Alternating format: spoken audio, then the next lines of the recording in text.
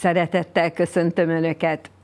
Íme, remélem mindenki kezében ott a teás csésze, mert ezen a héten bizony a Mikulás is bekukkant hozzánk, és rengeteg teendőnk van, de azért a Tea Glóriával csak egy olyan műsor, amiért érdemes leülni, hiszen beszélgetünk, információkat kapunk, és még kellemesen is érezzük magunkat.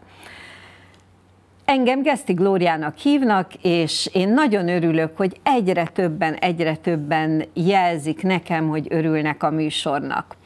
Ez a műsor minden szerdán este 20 órakor jelentkezik ez a főműsoridő, majd csütörtök hajnali fél négykor, aztán csütörtökön kora délután, ebéd után fél kettőkor, szombaton 18 órakor és vasárnap reggel 8 órakor ismét megtekinthető, tehát bőven van ismétlésünk, nem maradnak le semmiről.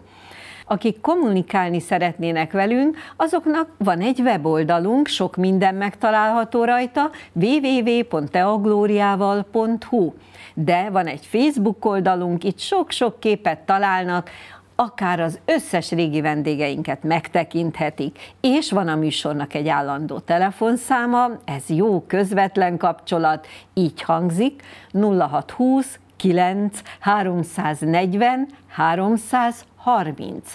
Ezt reggel 9 után, de akár este 9-ig lehet hívni. Én fogom fölvenni, tehát bizony sokszor kell próbálni, hogy elérjenek.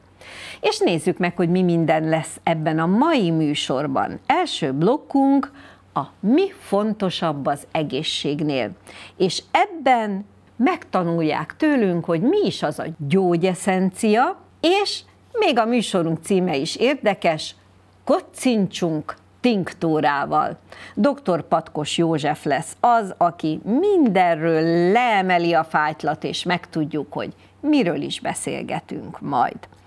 Ezután az egészség megőrzés új útjai blokkunk következik, amelyben Sejmes Erzsébet lesz ismét a vendégem, és a gyümölcsök, zöldségek tárolásáról és tartósításáról lesz szó, és még egy nagyon klassz új kutatási eredményt is megmutatunk önöknek. Ezután kiállítások ínyenceknek. Megint eltelt egy év, és jön a karácsonyi lelkes ásványbőrze. Tudják, ilyenkor érdemes kimenni, mert annyi jó ötletet lehet összeszedni karácsonyra különböző ajándékoknak, és mivel három napos a rendezvény, biztos, hogy önök is kijutnak, Lelkes András geológussal beszélgetek, hallgassák meg ezt a riportunkat is.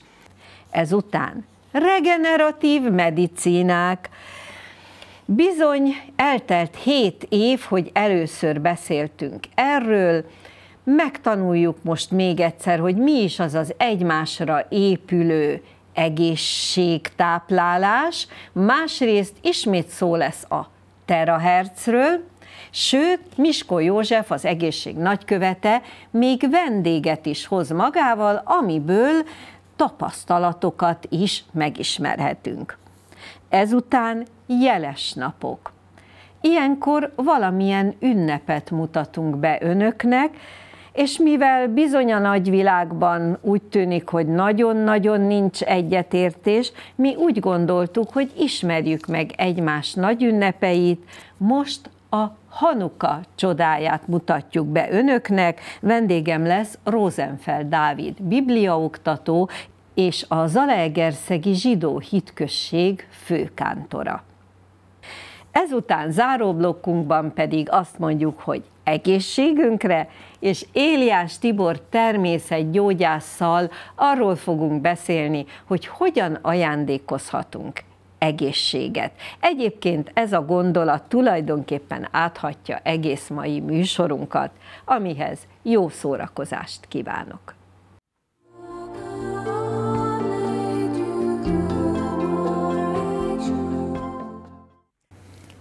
Mi fontosabb az egészségnél? Ó, hát erre mindenki, hát semmi más. Én meg azt mondom, hogy dehogy nem, mert ha ezt úgy érjük el, hogy közben jól érezzük magunkat, vagy éppen finomakat vehetünk magunkhoz, akkor ez még jobb. Ha a címünket nézik, kocincsunk tinktúrával, hát akkor aztán teljes gabajodás van, miről beszél itt ez a nő, hát meg fogjuk magyarázni, mégpedig stúdió vendégemmel, dr. Patkos József feltalálóval. Köszönöm kedves meghívásokat, kedves Glória, és köszöntöm a televízió nézőket. És akkor hát most járjunk ennek utána. Ha valaki meghallja azt a szót, hogy tinktúra, akkor hú, az valami keserű, torokpucoló, vagy gyomorrendbetevő, hát hogy lehetne az finom? Na most, kedves József, ön egy feltalálót találkoztunk is már, és különleges gyógylikőröket talált föl. Egy picit emlékezzünk vissza a kezdetekre, hogy mi is az, hogy gyógyeszencia. 28 évvel ezelőtt kezdtem el az edirányú kísérletezéseket, uh-huh. akkor persze még csak a családomról volt szó, meg a baráti körömről. Sokat jelentett a 20. századi osztrák világhírű füvesasszony Mária Trében munkássága, hiszen az ő könyveiből e, tudtam meg azt, hogy nem feltétlenül kell egy tinktúrának érzékileg rossz ízűnek lenni, mert tud az nagyon kellemes, is, e, kellemes ízű is lenni, nem csak egészséges, és e, aztán amikor teltek, múltak az évek, és a lányaim nagyon biztattak, hogy menjek ezekkel versenyekre, akkor egyszer eljutottam oda, és nagyon szépen szerepeltem nemzetközi szerveződésű és hazai szerveződésű párlat és pálinka versenyeken, és aztán eljutott a dolog az utolsó öt esztendőben odáig, hogy, hogy fél évtizede állami védjegyoltalom alatt áll, és egyre többen érdeklődnek iránta, és ismerik el az ezzel kapcsolatos hobbi tevékenységemet. Na most azt mondtuk, hogy kocincsunk vele, hát kocintani általában alkohollal szokás. Ebben van akkor alkohol? A kivonatoló anyag uh, alkohol. A, a tinktúra fogalmában benne van, hogy a gyógynövényi tartalom uh, kivonatoló alapanyaga a szesz. Az én uh, általam készített gyógynövényes likörkészítményeknek az az egyik sajátosság, hogy a kivonataló anyag nem az ízére nézve talán olcsónak vagy snasznak nevezhető tiszta szesz, hanem prémium minőségű hungarikum kisüsti gyümölcspárlat. Mm, tehát abba kerül bele a különböző... Igen, a gyártó partnereim az én általam biztosított, hogy a legnagyobb többségére nézve magam által termelt, illetve gyűjtött, gyógynövényt viszem a gyártóhoz, aki az én receptúrám alapján készíti el hosszas érleléssel, áztatással azt a gyógynövény tinktúrát, amelynek aztán, amikor elkészül, nem csak pozitív életani hatása, de kellemes íze is van.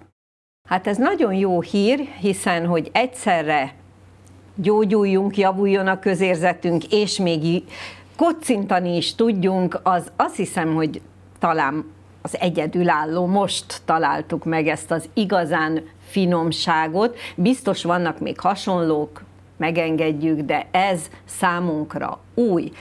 Na most annyira érdekes, és annyira elismert ez a csoda ital társaság, hogy tavaly Dr. Patkos Józsefet meg is hívták egy kongresszusra, egy orvosi kongresszusra. Ott mi volt a téma?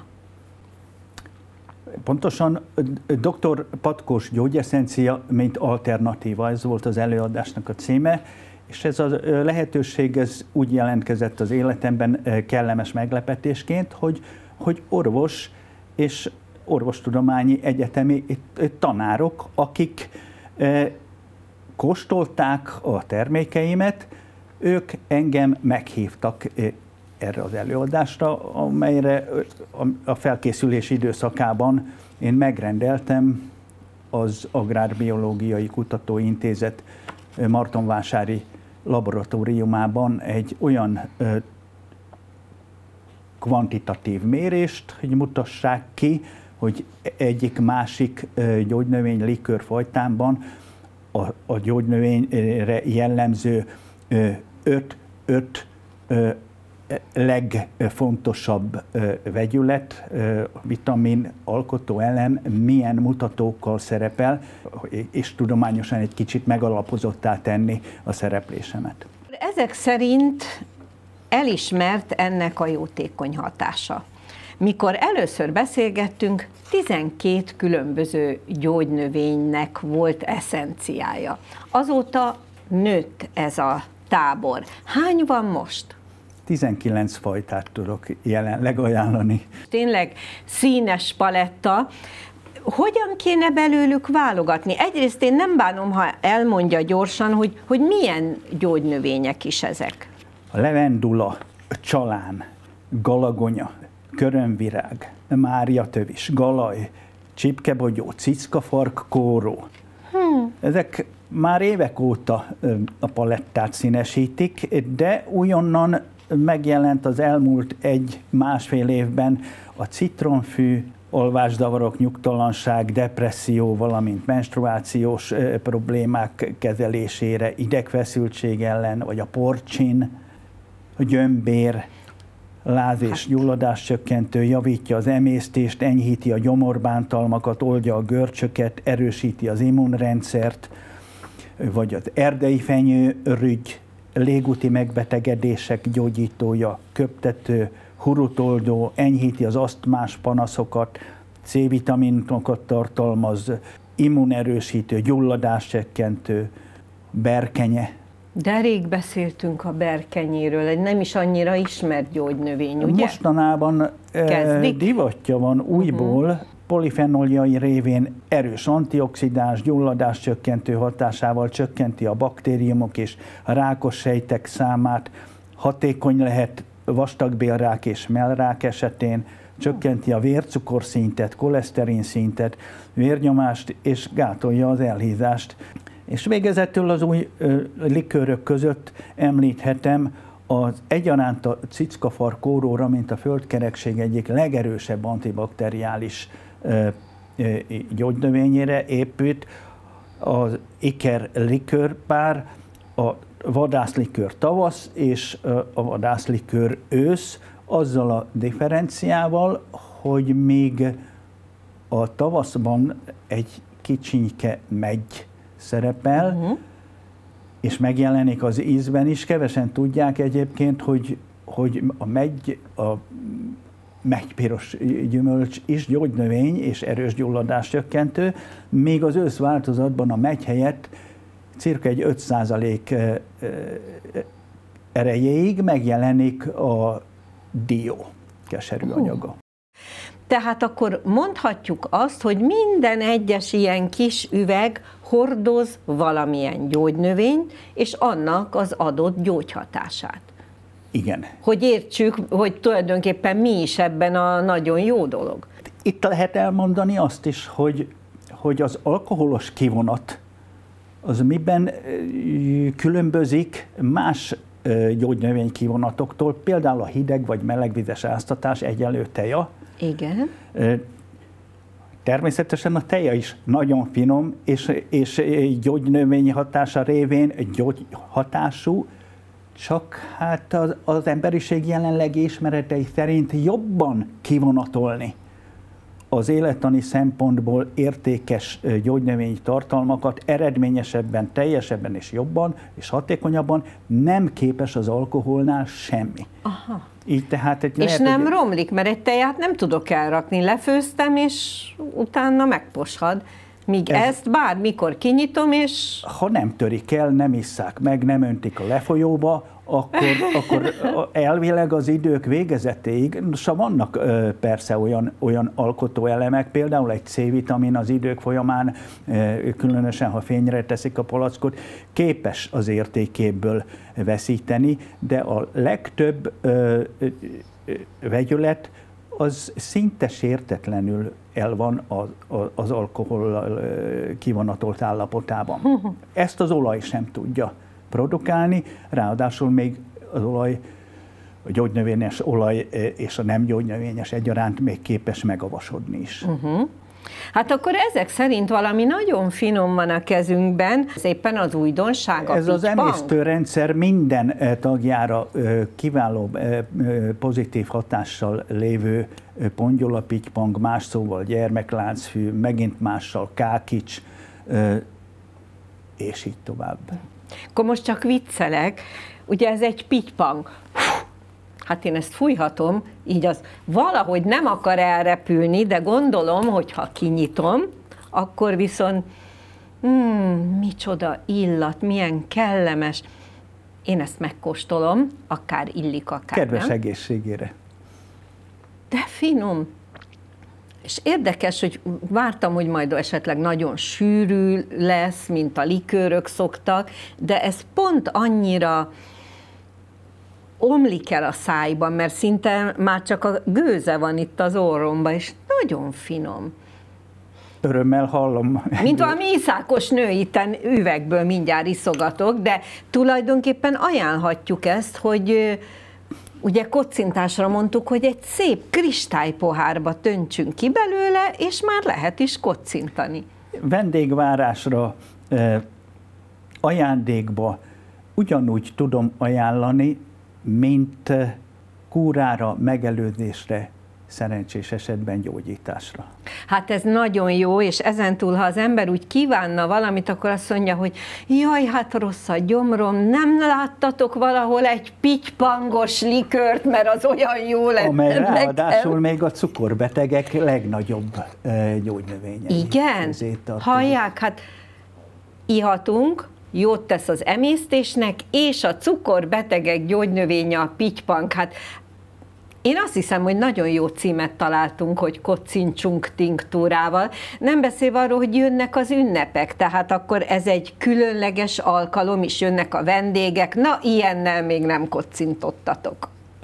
Tapasztalatom az, hogy aki ilyet kap, illetve olyan, ilyen lehetőséghez jut, szokott örülni. És, és igen, kedves visszajelzéseket kapok hetente azokon az alkalmakon, ahol én megjelenek ezekkel a tinktúrákkal. Még, még olyan eset is volt, ha szabad elmondanom, Persze. két alkalommal is, hogy mind a két esetben egy férfiú megkérdezte, hogy megengedem-e, hogy az ő ingájával megvizsgálja a termékeket. Mondtam, hogy természetesen, és aztán láttam a, a metakommunikációján, Igen? vagy a mimikáján, hogy, hogy meg van elégedve, és megkérdeztem, oh. hogy mit kérdezett tőle. Mit kérdezett az ingától? Azt, hogy ez tiszta anyag-e.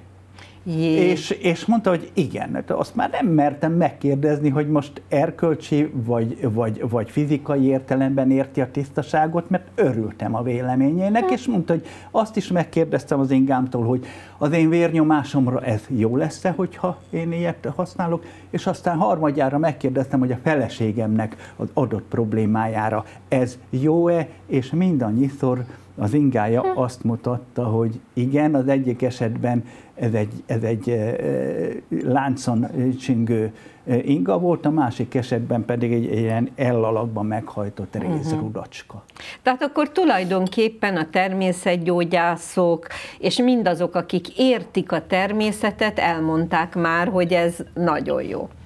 Üm, abban segítsen nekünk, hogy még nincs ilyen gyógyeszenciánk hogyan döntsünk, hogy először orvoshoz menjünk, vagy ön tud segíteni ebben, hogy melyik kinek ajánlott, hogy válogassunk? mindenféleképpen azt javaslom, hogy először menjen az orvoshoz, hiszen az orvos ö, tanulta ezt a tudományt, én ö, tisztelettel ö, az adott tevékenység iránt és szorgalommal olvasok, de e, az egészség kérdésében legyen a, a primer az orvos. Már más egy kicsit a helyzet, hogyha azt mondom, hogy gyógyszer, vagy gyógyhatású készítmény, és itt jelenik meg uh, súlyjal a, a gyógynövény, vagy az uh-huh. általam képviselt, készített uh, gyógynövényi kivonat.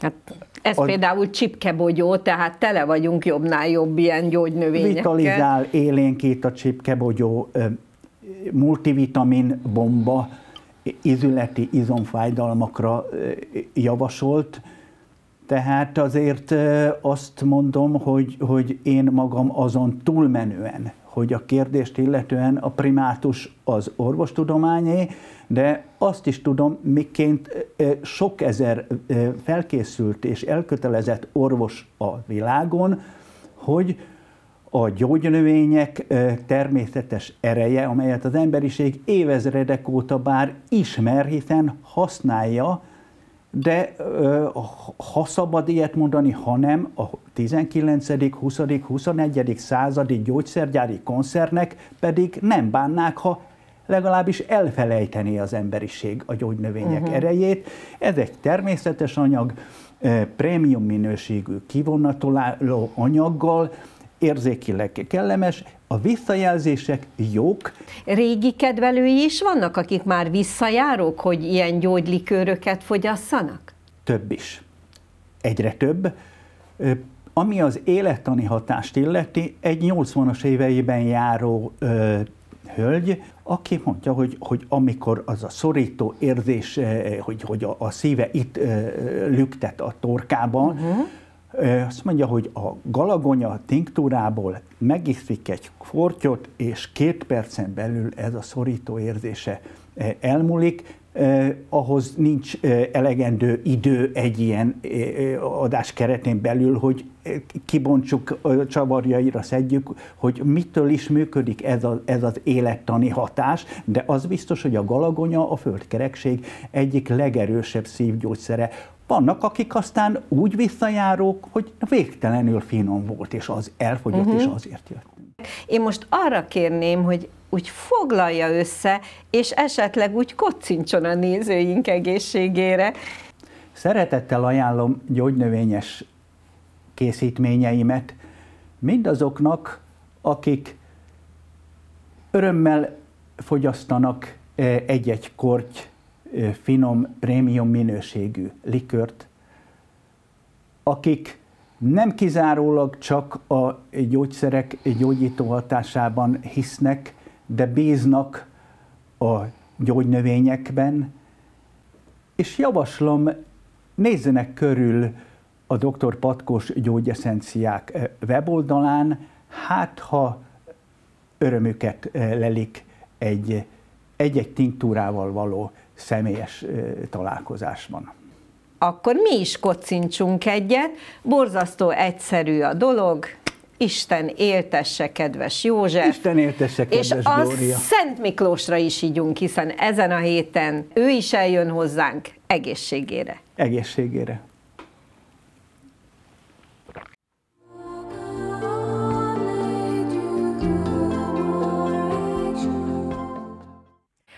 Új utak az egészség megőrzésben.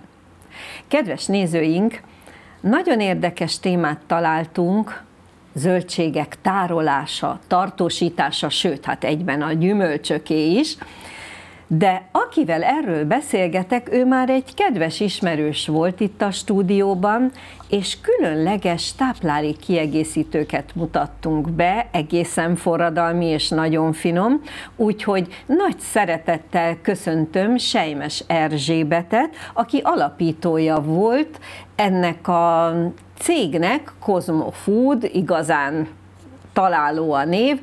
Mit is rejt ez a különleges üveg? Ez a különleges üveg gyümölcs és zöldség kristályokat rejt, vegyesen, többféle gyümölcsöt és zöldséget használva. Ami éppen a kezedben van, az egy Hát ez valami áfonya, gyönyörű már a színe. és fekete illata. keveréke. Ő csak gyümölcsöket tartalmaz, és egyébként kiváló gyulladás csökkentő hatással rendelkezik. Nem csak a gyulladások ellen nagyon jó, hanem remek a bőrünk szépségének, a magas antioxidáns tartalma miatt, plusz a szemünk egészségének, és még ráadásul a memóriánkat is nagyon jól karban tartja, hiszen a fekete áfonya és a tőzeg áfonya erre kiváló hatóanyagokat tartalmaz. Hát ez szinte csodálatos, és hogy ugye én mindig szeretem, ha a blokkjaink rímelnek egymásra. Hát beszéltünk gyógynövényekről, most viszont beszélünk gyógyító hatású vitaminbombákról tulajdonképpen, meg ásványanyagbombákról, és ha megnézik, hát gyönyörű.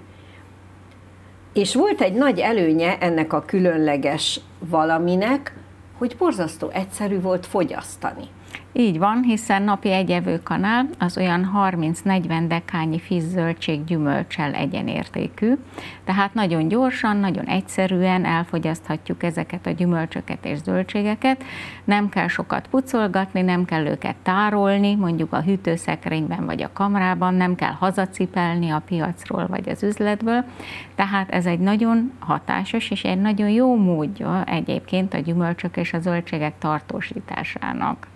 Mióta beszélünk tartósításról? Valójában, amióta élelmiszereket termeszt az emberiség, azóta próbálja azokat, így a gyümölcsöket, meg a zöldségeket is tartósítani, hogy akkor is tudja élvezni, akkor is tudja fogyasztani, amikor annak éppen nincsen szezonja.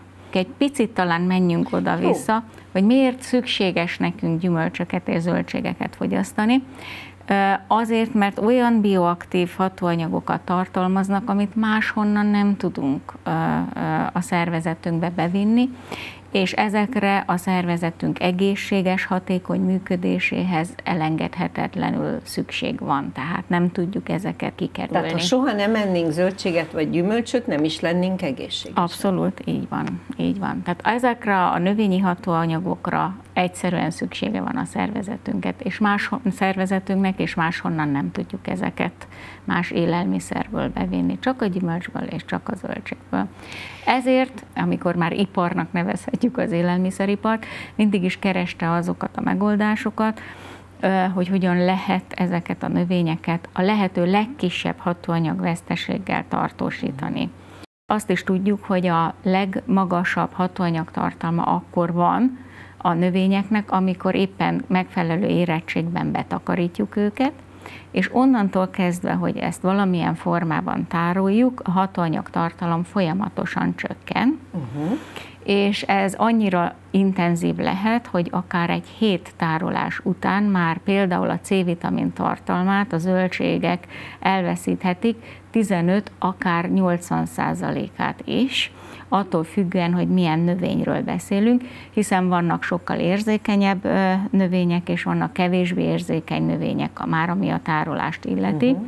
Így például a spenót, ami az érzékenyek közé tartozik, ő már három nap után elveszíti a C-vitamin tartalmának 77%-át, míg a burgonya, ami sokkal stabilabb, akár három hónapig is frissen tartható, száraz, sötét, hűvös helyen, hiszen nem véletlenül tárolták például az én szüleim is még veremben, vagy egy olyan pincében, száraz homokban a burgonyát, hogy az tavaszig is még akár Bizony. eh, Lementek a pincébe a Bizony, van zöldségért. És friss marad, hát ezt a spenóttal nem lehet megtenni. és hogy, hogy mi az, amire igazából érzékenyek a zöldségek meg a gyümölcsök a tárolás során. Hát az egyik a hő, amit nehezen viselnek, és hát mikor éri hő, főként amikor megfőzzük őket, és ebből is a legrosszabb a vízben főzés, mert hogy akkor a vízben oldódó vitaminok tulajdonképpen kioldódnak a gyümölcsből és a zöldségből, tehát már akár az legalább az 50%-át elveszítik egy forralás után. Tehát És ha figyelnünk kell megisszuk, erre. vagy megesszük a levét, akkor is? Na igen, így van, az már, az már sajnos nem tér vissza. A zsírban oldódó vitaminok azok kevésbé érzékenyek a, a vízben főzésre, tehát ők stabilabbak, ahogyan a rostok vagy az ásványi anyagok is, de a vízben oldódó vitaminok, mint például a C-vitamin vagy a B-vitaminok, azok nagy mértékben érzékenyek a hőre, és különösen a vízben való főzésre. Uh-huh. Ezen kívül nagyon érzékenyek még a, a gyümölcsök és a zöldségek hatóanyag tartalmai a fényre is, tehát nem nagyon szeretik a fényes, a napsütéses tárolást, hiszen az is felgyorsítja a tápanyagveszteséget, illetve az oxigénnel való érintkezésre is nagyon oda kell figyelni. És mikor érintkezik nagyon sokat az oxigénnel, ha megpucoljuk, megtisztítjuk, összevágjuk, mert egyre nagyobb felületen érintkezik az oxigénnel, és főleg az antioxidánsok, nagyon gyorsan oxidálódnak ebben az állapotban. Ezt figyelhetjük meg, amikor megpucoljuk a banánt, és rögtön elkezd barnulni, vagy amikor megpucoljuk az almát, feldaraboljuk, és ha kicsit Tehát levegőn akkor... hagyjuk, rögtön barnul.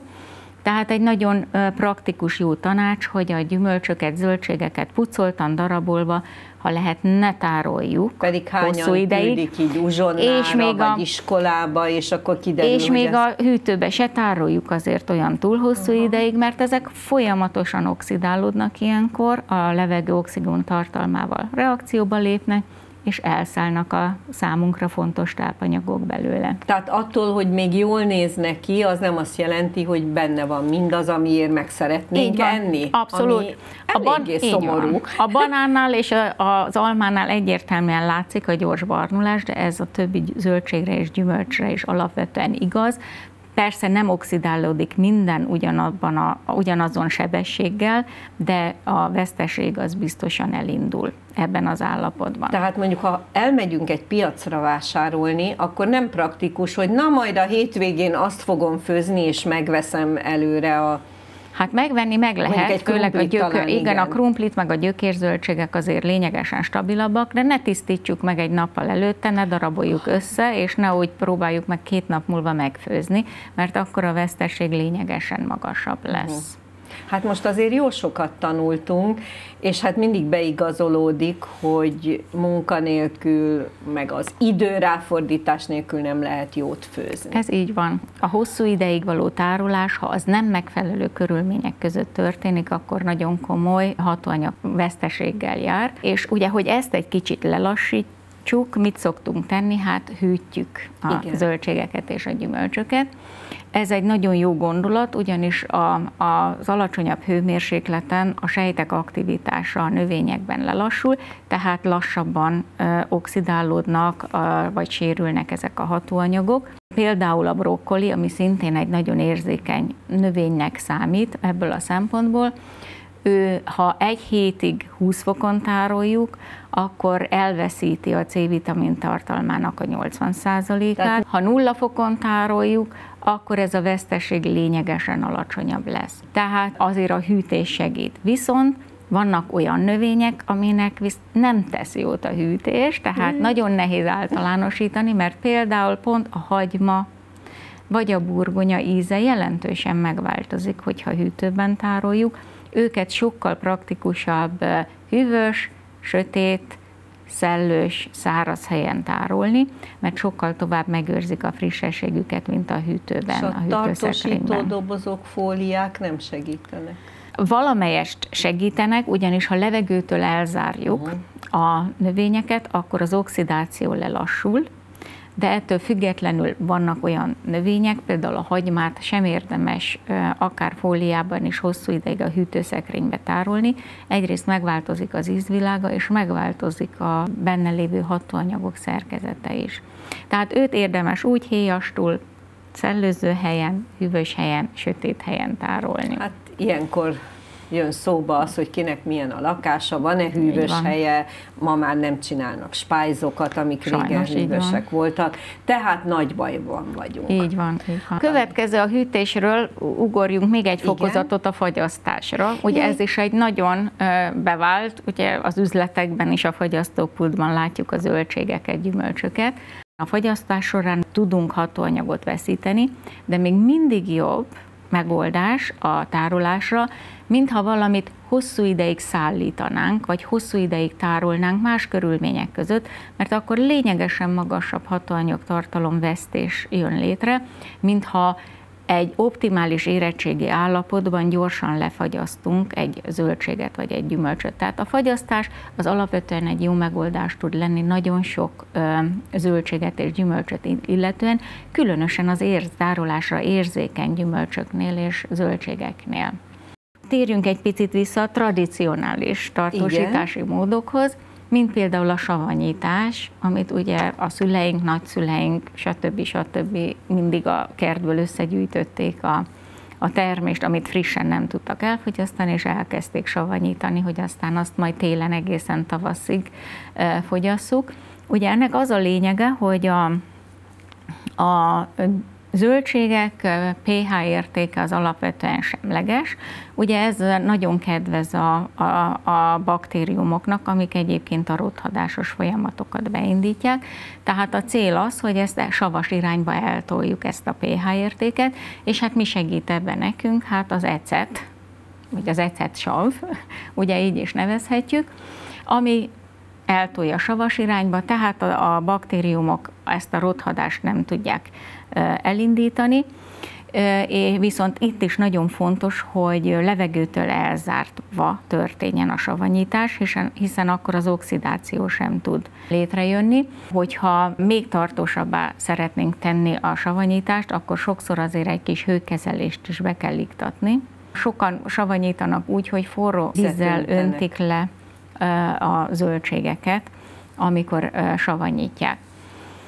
Ugye ez egy gyorsabb eljárás, és van egy lassabb, de egy egészségesebbnek is mondható fajtája ennek, mégpedig a fermentálás. Uh-huh ami ugye természetes teljesabb baktériumokkal történik, amik elvégzik ezt a pH savas irányba való eltolását, és egyébként ezek a baktériumok a zöldségek felületén megtalálhatók maguktól, csak megfelelő környezetet kell nekik teremteni, és ők elvégzik szépen maguktól ezt a munkát. Ennek az a hátránya, hogyha ezt adalig mentesen próbáljuk a fermentálást végezni, akkor ez egy viszonylag hosszú idő, legalább három hét, amíg ez a tejsavas savanyítás végbe megy illetve hát a fermentálásnak még az a nagy előnye, hogy tulajdonképpen egy élő élelmiszert kapunk, ugyanis tele van pro- és prebiotikummal a fermentált zöldségeket. Szoktunk azért alapvetően fermentálni, tehát a fermentált zöldségek, ami nagyon jó hatással van az emésztésünkre és szerencsére ma már ez egyre divatosabb lett, újra előkerült a fermentálás mondjuk a savanyítással szemben. Tényleg azt én örülök neki, hogy ez egy új korszakát éli. Nagyon felkapott most a kimchi például, ami egy... Igen, érdekes koreai egy nagyon, így van, egy koreai csípős általában, vagy erős, már legalábbis az eredeti, aztán ezt lehet egy kicsit szolidabb formában is előállítani úgymond kiegészítő, télen nagyon jól lehet így ezeket a zöldségeket fogyasztani, amikor esetleg úgy gondoljuk, hogy a friss az nem olyan jól elérhető. Tehát akkor beszéltünk a fermentálásról. Így van, beszéltünk van a még? Van természetesen. Biztosan sokan hallottak már a liofilizálásról, ami tulajdonképpen egy fagyasztva szárítási technológia. Ugye ez már egy iparibb, nem fel, ez, ez otthoni körülmények között nem megvalósítható tartósítási eljárás, de az élelmiszeriparnak ugye folyamatosan keresni kellett olyan megoldásokat, amivel nagyobb mennyiségben tudnak tartósítani, és amivel viszonylag nagy arányban meg tudják őrizni a gyümölcsök és a zöldségek beltartalmi értékét, és a liofilizálás egyike ezeknek uh-huh. hiszen ha optimális érettséggel, gyors fagyasztásba lefagyasztják a gyümölcsöt, zöldséget, akkor ugye nagy mértékben megőrződik a hatóanyagtartalma, és ugyanakkor ezt utána behelyezik egy szárítóba, amiben a nyomást szintén csökkentik, és közben pedig a hőmérsékletet emelik, így el tudják azt érni, ugye a fagyott vízkristályok a gyümölcsben és a zöldségben nem folyékony halmazállapotúvá válnak, hanem rögtön gőzzé alakulnak, és így elpárolognak a hm. gyümölcsből és a zöldségből. És ott marad maga és, a gyümölcs. És ott marad maga a gyümölcs, meg a, meg a zöldség.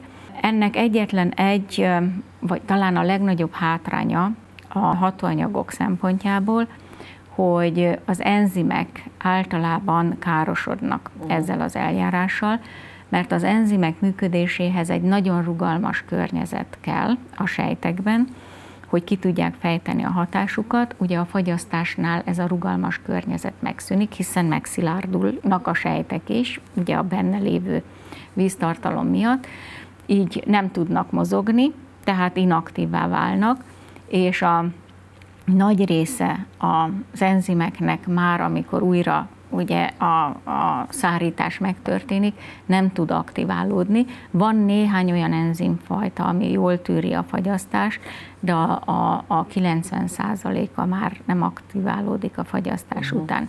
Azon kívül ez az eljárás egy elég idő és energiaigényes, mert ugye egyrészt van egy gyors fagyasztás, majd utána van egy melegítés, és ugye ennek során elpárolog a víz a gyümölcsből, zöldségből, ami két-három napig is eltarthat, hogyha ezt pontosan betartják a technológiát, tehát ez tényleg nagy energiaigényű technológia, és ezért gondolták tovább ezt a technológiát, Igen. mégpedig egy vákumszárításos technológiát, ami abban különbözik alapvetően a liofilizálástól, hogy ennél nincsen fagyasztás a az eljárás Igen. elején, tehát eleve azt az energia költséget már megspóroljuk, amivel meg lefagyasztottuk időt. volna, meg az időt is, pluszba az enzimek sem károsodnak, hiszen uh-huh. a fagyasztás kimarad a technológia elejéről, és ráadásul ez egy zárt rendszerben történik, tehát ahol olyan mértékben növelik a nyomást, hogy leesik a víz forráspontja,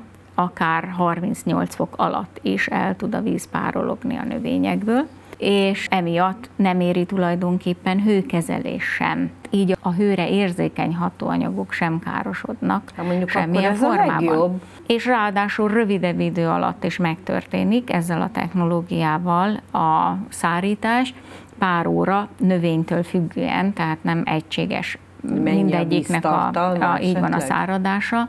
Hát igen, a víztartalma, hogy mennyire kemény, mennyire Aha. Eh, puha, mennyire érzékeny Tehát erre egy sárgarépa vagy egy málna nem ugyanaz. De abszolút más, így van a szárítás ideje. Egyébként mind a kettő alkalmas vákumszárításra, uh-huh. ugyanis vannak olyan növények, amiket ezzel a technológiával azért nem lehet szárítani. Uh-huh és emiatt ugye energiatakarékosabb is ez az eljárás, és miután se fagyasztás, se hőkezelés nincs, itt van a legnagyobb esélye annak, hogy szinte száz százalékban meg tudjuk őrizni a növények hatóanyag tartalmát. Privát véleményem, erre hivatalos kutatásokat nem találtam, az az, hogy a vákumszárítással a az aromák, az ízvilágot is jobban meg lehet őrizni, mint a uh-huh. liofilizálásnál.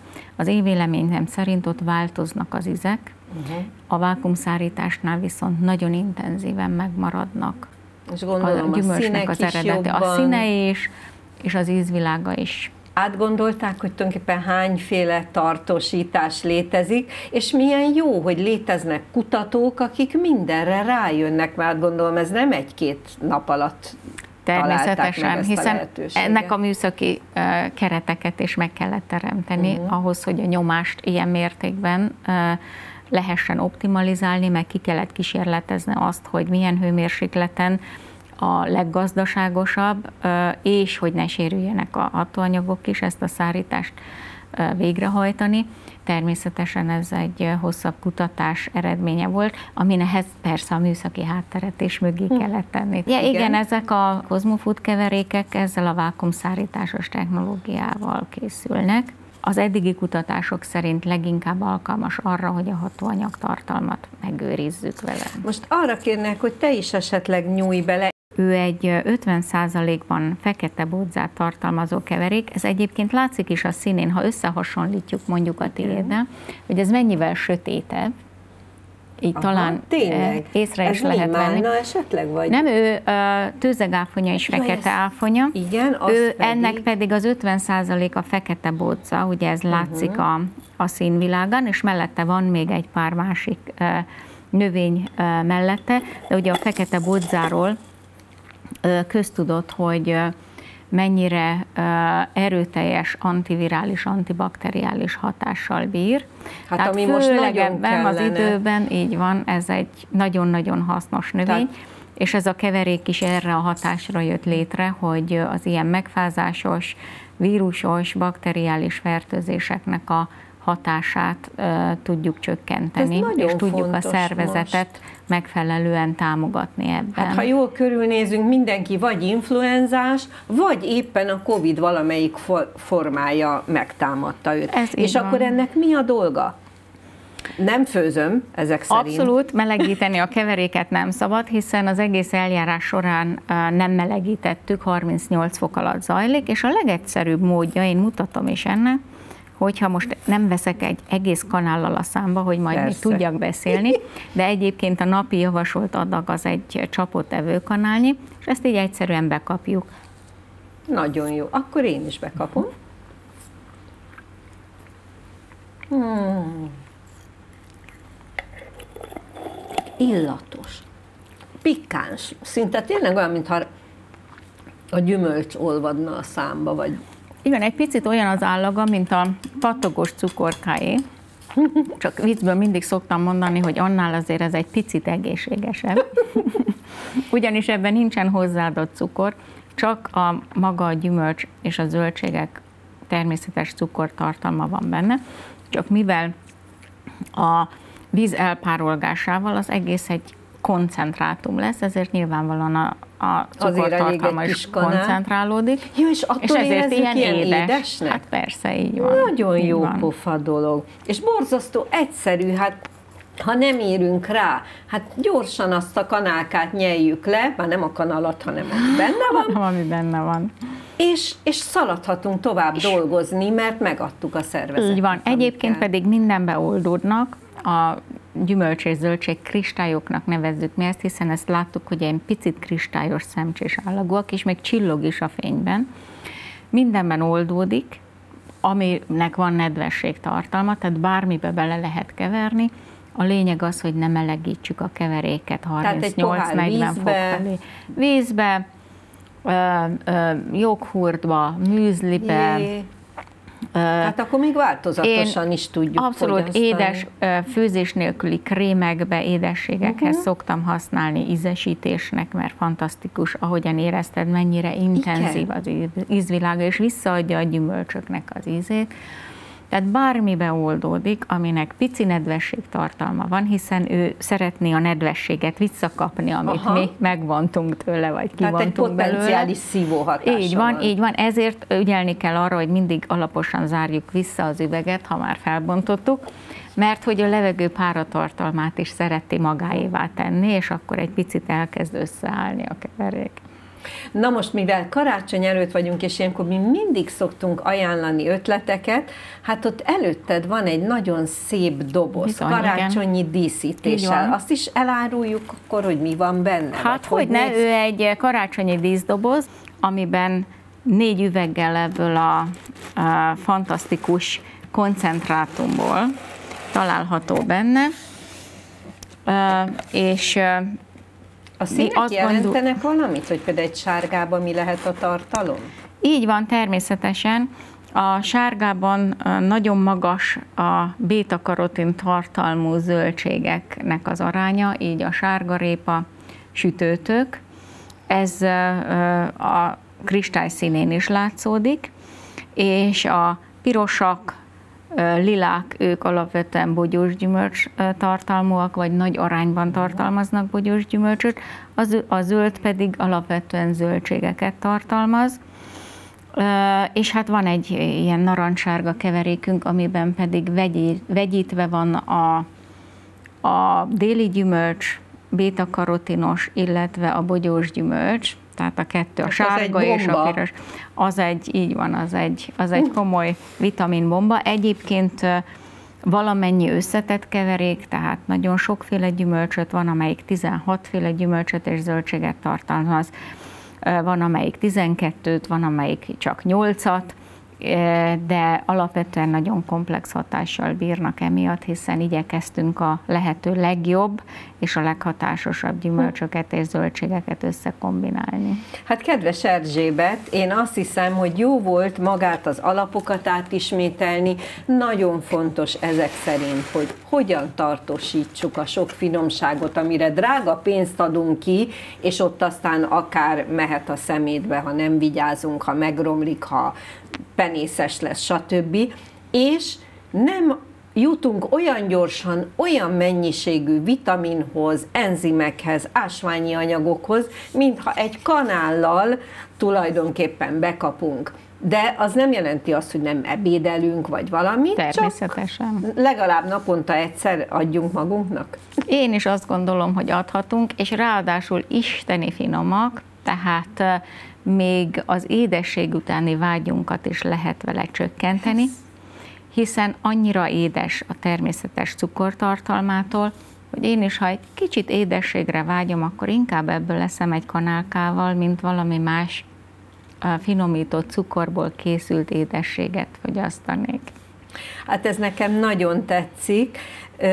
Kedves Erzsébet, egy mondatban ajánlja nekünk ezt, hogy, hogy miért is jó? Foglaljuk össze.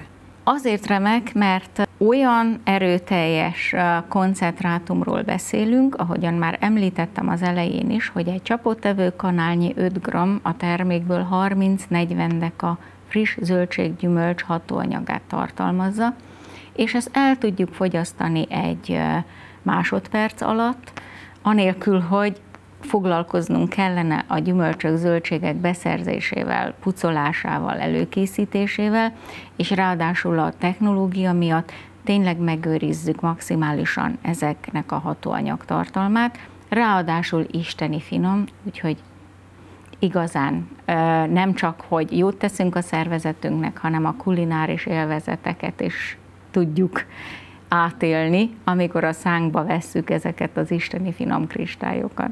Nagyon szépen köszönjük. Nagyon szépen köszönöm én is.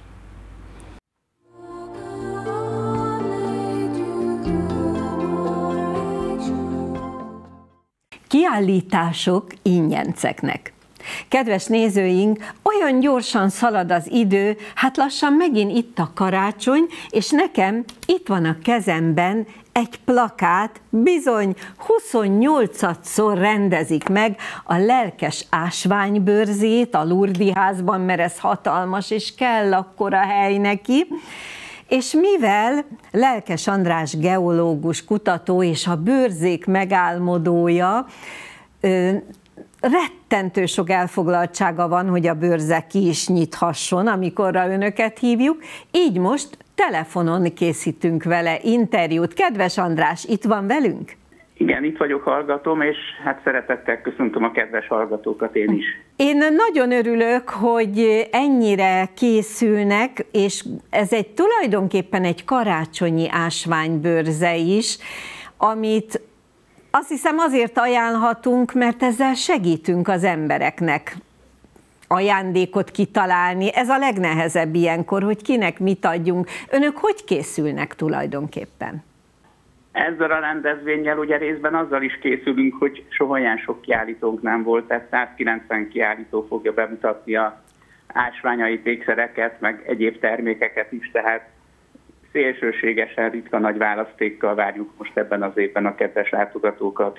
Tudjuk, hogy mindig szinte a bőség zavara, de hadd kérdezem meg, hogy ugye itt a plakáton egy gyönyörű pink zafír ékeskedik, miért? A zafír az egy fajta, tehát a korunnak sok változata van, és a, ugye a zafírok a legismertebbek és a leg, legnépszerűbb változatai a korunnak, és hát a korundot választották meg idén a szavazáskor az évásványának 2024-es évre.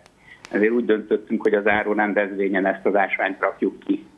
Hát gyönyörű a színe, az biztos, én már is elfogadnék belőle valami szép medált, de hát akkor nézzük meg, hogy tulajdonképpen ez a lelkes ásványbőrze egyszerű egy kiállítás. Ki mindenki fog kiállítani?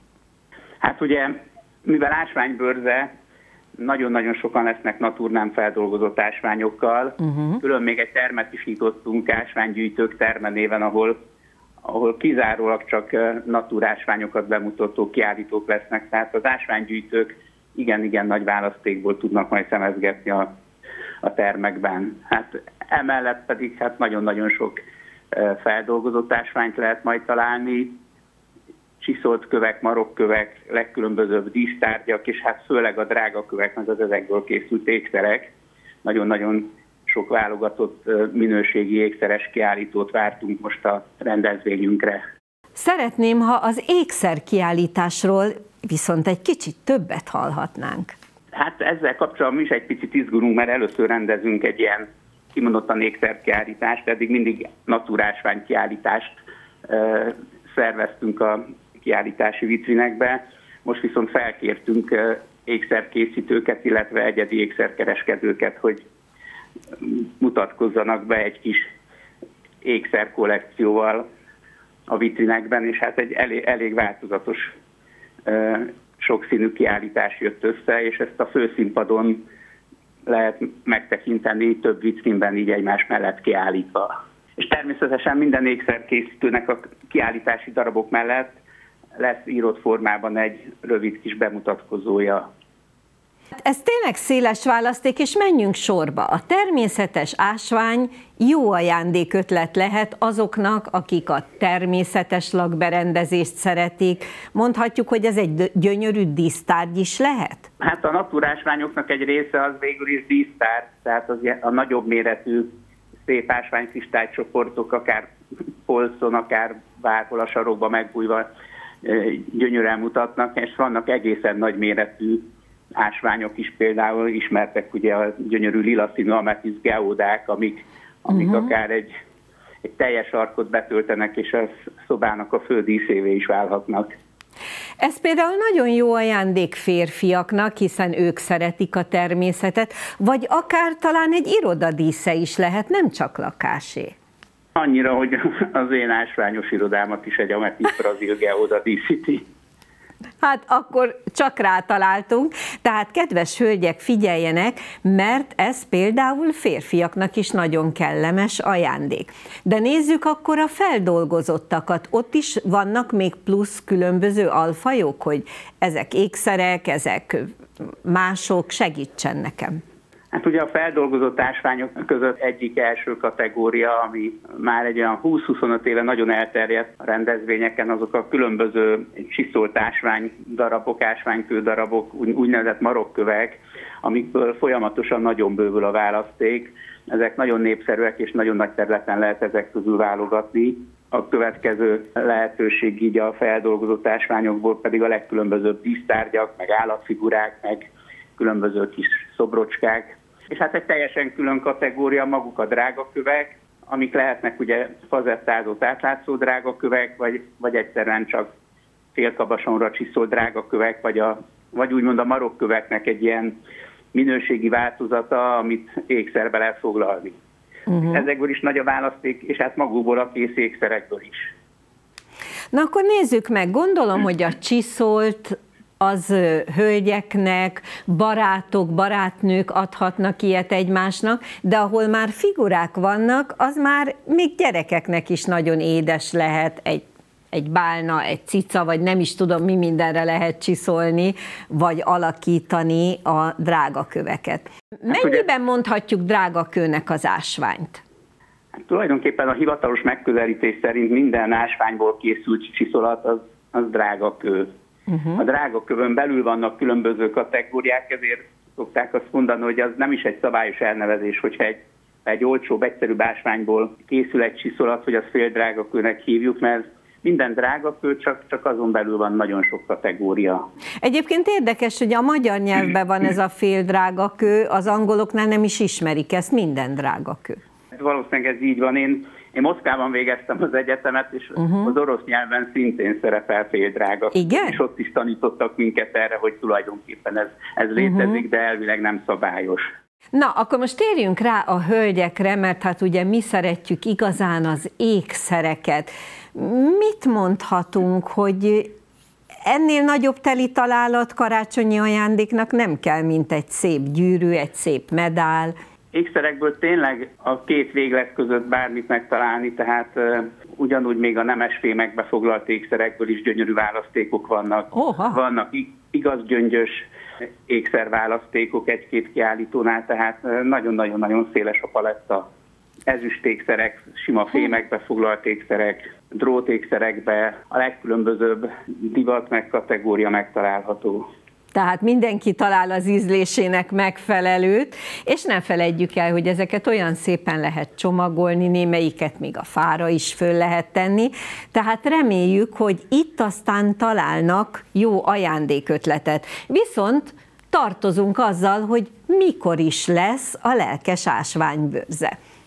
Mindig hétvégén rendezzük, ugye a Lurdi házi rendezvényünk az az nagyon nagy, ezért három napos, tehát péntek, szombat, vasárnap, december 8-9-10-én kerül megrendezésre. Gyakorlatilag egész napos, tehát a péntek is, meg a szombat is az 10 órától este 7 óráig, a vasárnap az pedig este 6 óráig. És hát azt hiszem, hogy aki nem csak az ajándékok beszerzéséért megy el erre a háromnapos rendezvényre, hanem Szeretné jól érezni magát, szeretné az ismereteit bővíteni az ásványokról, körülnézni, egy igazi szórakoztató napot eltölteni, azoknak kínáljuk a többi lehetőséget, amik a kísérő rendezvények. Mi mindent lehet látni, András? Hát első helyen mindenképpen a 3D vetítés barlangokról emelném ki. Ez nagyon-nagyon-nagyon népszerű. Egri Csaba úr a világ szerintem legügyesebb barlangi 3D-s filmkészítője, mindig újabb és újabb filmekkel kápráztat el minket. Most a karácsonyi vetítéskor újra magyarországi barlangok lesznek bemutatva a kettes előadóteremben. Ez egy nap folyamán többször is lefutnak a filmek, tehát szinte mindenkinek van rá lehetősége, hogy beüljön ezeket megnézni. Emellett pedig hát egy külön nagy teremben nagyon sok kreatív foglalkoztatóval, bemutatóval várjuk a látogatókat, illetve egy nagyon nagy méretű földtudományos játszóházzal, ahol interaktív módon mutatjuk be a érdeklődőknek az ásványok legkülönbözőbb tulajdonságait, mindenféle ismeretterjesztő információkat róluk. Például egy nagy UV dobozban az ásványoknak az UV tulajdonságai láthatók, illetve az ásványok fizikai tulajdonságait és hát emellett ugye a, legkedvencebb szolgáltatásunk az aranymosás a gyerekeknek, ahol aranymosó technikával moshatnak ki a homokból, igazi aranymosó tálak segítségével fantasztikus valódi ásványkistályokat. Ó, de jó, tehát akkor ez azt jelenti, hogy mind a felnőttek kapnak ö, ismeretterjesztést, mind a gyerekek játékosan megismerkednek az ásványok világával. Mindenképpen, és hát ugye a kígyósimogató az nem ásvány, de ez egy olyan népszerű program levezetésnek, amikor már elfáradtak a, a sok ásványtól, meg, meg ékszerektől, meg, meg egyebektől, hogy ezt vissza kellett hoznunk, mert, mert egyszerűen nagyon-nagyon-nagyon igényli a közönség. Ezek teljesen ártalmatlan kígyók, akiket kézbe lehet venni, és lehet velük fotózkodni is. Hát igen, meg kell mondjam, hogy mikor én voltam, én is oda mentem, hogy jaj, csak hadd érintsem meg, és olyan kis finom a bőrük, úgyhogy ez tényleg szórakoztató, és szerintem a gyerekeknek meg egy természetközeli, nagyon jó játékos lehetőség. Akik oda mennek, vigyenek három napi melegélelmet, vagy azért létezik büfé, ez az, ahol egy kicsit megpihennek? A Lurdi házban, ahol a rendezvényterület van, van egy hatalmas étkezőudvar, tehát nagyon nagy választék étkezési lehetőségekben. Ha gyerek megy oda, ők is kapnak segítséget? Esetleg ő szeretne titokban a szülőnek valamit vásárolni, akkor lesz, aki segít neki? Kik azok, akik ebben segíthetnek? A legkülönbözőbb kérésekkel szoktak hozzánk fordulni. Ugye segítőink, meg hozteszáink vannak, akiket adott esetben tudunk meg tudunk bízni ilyennel is, hogyha valaki esetleg valami ilyesmit szeretne. Ez, ez mindig rendezvényfüggő, hogy éppen hol, hol milyen kérdés uh-huh. fordul elő. Tehát a kiállítók tulajdonképpen fel vannak készülve a legkülönbözőbb kérdésekre. Hát a kiállítók is, meg mi szervezők is, tehát mm. van úgy, hogy mi is biztosítunk kísérőt. Például valaki szeretnének, felnőttek is volt már, hogy megkértek, hogy egy kicsit akkor a gyerekeket foglaljuk el, és már ők szeretnének egy kicsit önállóan nézelődni. Hát korlátozott szinten, de van erre is lehetőség. Meg nagyon érdekes volt, hogy volt ilyen ásvány meghatározás, vagy drágakő meghatározás, hogy segítenek abban, ha valaki beviszi a sajátját. Ez állandó kísérőprogram, ugye az ingyenes drágakő határozó, ami arra is szolgál, hogy otthonról is el lehet hozni a megörökölt vagy régóta fiókban elfekvő ékszereket, drágaköveket, hogy megnézzék, hogy mi az értékes, értéktelen, meg hogy, meg hogy konkrétan milyen ásványból van. Meg hát a rendezvényen vásárolt, vagy, vagy csak megnézett dolgokat is meg lehet nézetni, hogyha bármilyen kérdés fölmerül. Általában szokott lenni úgynevezett egészségsziget, ahol még azt is megmutatják nekünk, hogy mit tehetnek az ásványok velünk. Ez most is lesz? Persze, ez, ez folyamatosan működik egy kis egészségsziget is.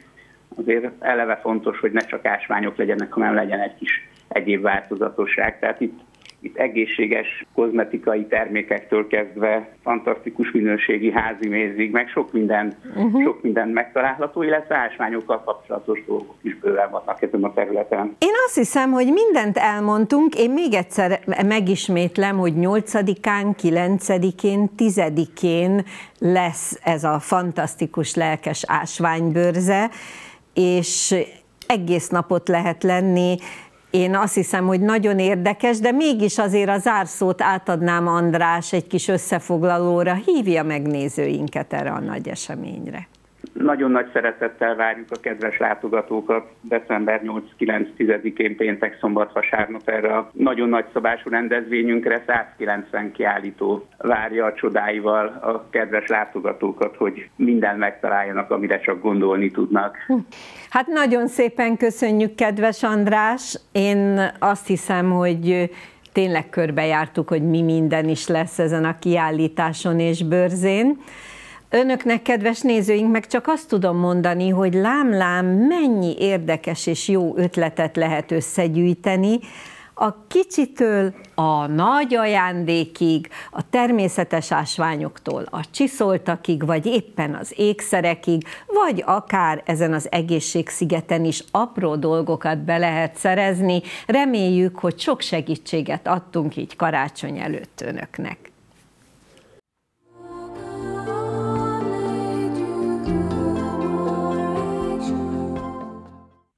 Regeneratív medicinák. Kedves nézőink, akik törzsnézők, azok bizony már nagyon sokat tudnak. Mi az, hogy regeneratív, mi minden tartozik ebbe bele, és az őssejtekről is ugyan sokat hallottak már tőlünk. Eltelt 7 év, és az mindig egy ilyen nagy választópont, akkor már lehet értékelni, hogy mi is történt a 7 év alatt, Hát mi is ezt fogjuk most tenni, és ehhez engedjék meg, hogy bemutassam stúdió vendégeimet. Először a hölgyet, Hunyadi Katalint, és állandó szakértőnket, főtanácsadónkat, Miskó Józsefet, az egészség nagykövetét. Én is sok szeretettel köszöntöm a nézőket, ma itt egy kicsit ünnepelünk. Ezek szerint ö, eredményekről fogunk beszélgetni, ugye? Igen, hát 7 év csodálatos megtapasztalásokat és csodálatos eredményeket hozott, hiszen tudjuk, hogy az emberi szervezet is 7 évente mindig megújul. Tehát Magyarországon most van a hetedik éve, hogy ezt a csodálatos programot minél többen ismerik, és minél többen használják, és egyre többen mondják el azt, hogy egy csodálatos életminőség változást tudtak elérni. Hát ahhoz, hogy értékelni tudjuk a mai eredményeket, én szerintem egy kicsit menjünk vissza a kezdetekre, hogyan is kitalálta ki ezt a rendszert. Hát nagyon messzire nyúlik a kezdet. 94 évvel ezelőtt, 1924-ben dr. John Davidson, egy kanadai tudós, rájött arra, hogy a fiatalság és az egészséget hogyan lehet megvalósítani minden korban. Tudjuk azt, hogy 25 éves kortól egy biológiai változás indul el a szervezetünkbe, A tudósok megfigyelték, hogy egy sejt minőség romlás indul el, aminek az az oka, hogy valami oknál fogva már nem funkcionális őssejtek osztódnak, hanem csak sejtmásolódás van, és ez egy biológiai romlás, egy ö, másabb életminőséget ad addig, mind amíg élünk. Akkor végül is valami történt, elkezdtünk így ugye az őssejtekről beszélni. Ami a mi gondunk, hogy mások is beszélnek őssejtekről, azt szeretném, ha megtudnánk, hogy mitől jó a miénk, és miben különbözik sok más elképzeléstől. Nagyon sokféle irányzat indult el. A tudomány ugye az ősejteket már nagyon régóta szeretné elsősorban az egészség és a megelőzés szolgálatába állítani, de többségében csak az úgynevezett gyógyítás területén tudták hasznosítani, hiszen tudjuk azt, hogy mai napig is nagyon súlyos eseteknél az ősejteket kezdik el alkalmazni. Ez ö, ö, egy transplantációs eljárás többnyire, amikor valahonnét, elsősorban ugye sajátunkból, de van úgy, hogy közeli családtaktól vesznek őssejteket, ezeket egy technológiával ö, kicentrifugázzák, összerakják és visszajutatják az adott páciens vagy beteg testébe, ahol segítik megoldani a problémát. De az igazi megoldás az, amikor a saját ősejtjeinket kezdjük munkába állítani már még akkor, amikor még úgy érezzük, hogy jól vagyunk. És ezt a felfedezést tette meg dr. John Davidson, hogy mi az a hiányzó láncszem vagy kulcs, ami miatt 25 éves kortól fokozatosan csökken az ősejtermelés, és szinte megszűnik a funkcionális ősejtek aktivitása. Ezt a kis láncszemet, ezt egy aminósavnak nevezték el, egy FGF2-es faktornak, és ez a csoda, ami itt a készítmények alapja és fő összetevője. Tehát ez a készítmény, ami újra beindítja a szervezetünkben meglévő, de nem működő ősejteket, és innétől újra funkcionális ősejt osztódás, a sejtállomány minőségének szép, lassú változása indul el, és a szerveink, szervrendszereink olyan állapotba kerülnek 7 év után, mint 25 éves korunk környékén, amilyen állapotban volt. Ez végül is egy fantasztikus dolog, és egy igazán dicséretes kutatási eredmény, hiszen az egyébként veszélyesebb, bonyolultabb műtétek helyett tulajdonképpen saját magunkban keressük meg az őssejteket. Igen, hát itt az elmúlt évek alatt azért nagyon sokan elmondták itt, tanúbizonyságot adtak arról, hogy ezeket az ősejteket újra munkába lehet állítani, és a sajátunk kezdi el kiavítani a hibát. Említett itt az előbb, ugye egy sokféle irányzat van. Hát ugye van az orvos irányzat, placentából levett ősejtek, bár ezt az utóbbi időben már annyira nem tartják olyan nagy csodának, említettem ugye a transplantációt, és vannak szintén olyan irányzatok is, amelyek külsőleg viszik be különböző növényekből vagy állatokból kivont ősejteket, Na most itt a lényeges különbség az, hogy ez nem a miénk. Uh-huh. Tehát, mint mondtam, hogy a tudomány úgy fogalmazott, hogy az a valódi megoldás, amikor a sajátunkat tudjuk újra ö, munkába állítani, illetve ugye az ősej termelést, a szükséges, ö, megnövelni, megnöveltetni a szervezetünkkel. Hiszen mind genetikailag az a ránk jellemző, ami bennünk van, amit kívülről viszünk be, az már eltérhet egy picit a mi genetikánktól, tehát ezt is szokták mondani, hogy hasonló vagy közel azonos. De a közel azonos és a hasonló nem ugyanaz, mint a sajátunk. Így már is értjük ennek a jelentőségét. Most Katihoz fordulnék, hiszen Kati még a kezdetek kezdetén már volt vendégünk. Szeretném, hogyha a te szemszögedből elmondanád ezt az elmúlt hét évet. Nem vagyok még 7 éves, csak 63 hónapos. Akkor ismerkedtem meg a termékekkel, és a két alaptermékkel kezdtem. Két hét után éreztem azt, hogy pihentebben ébredek, attól függetlenül, hogy én mindig azt hittem, hogy én nagyon-nagyon jól alszom. De ez tévedés volt, és energikusabb, sokkal energikusabb lettem, mint amilyen voltam.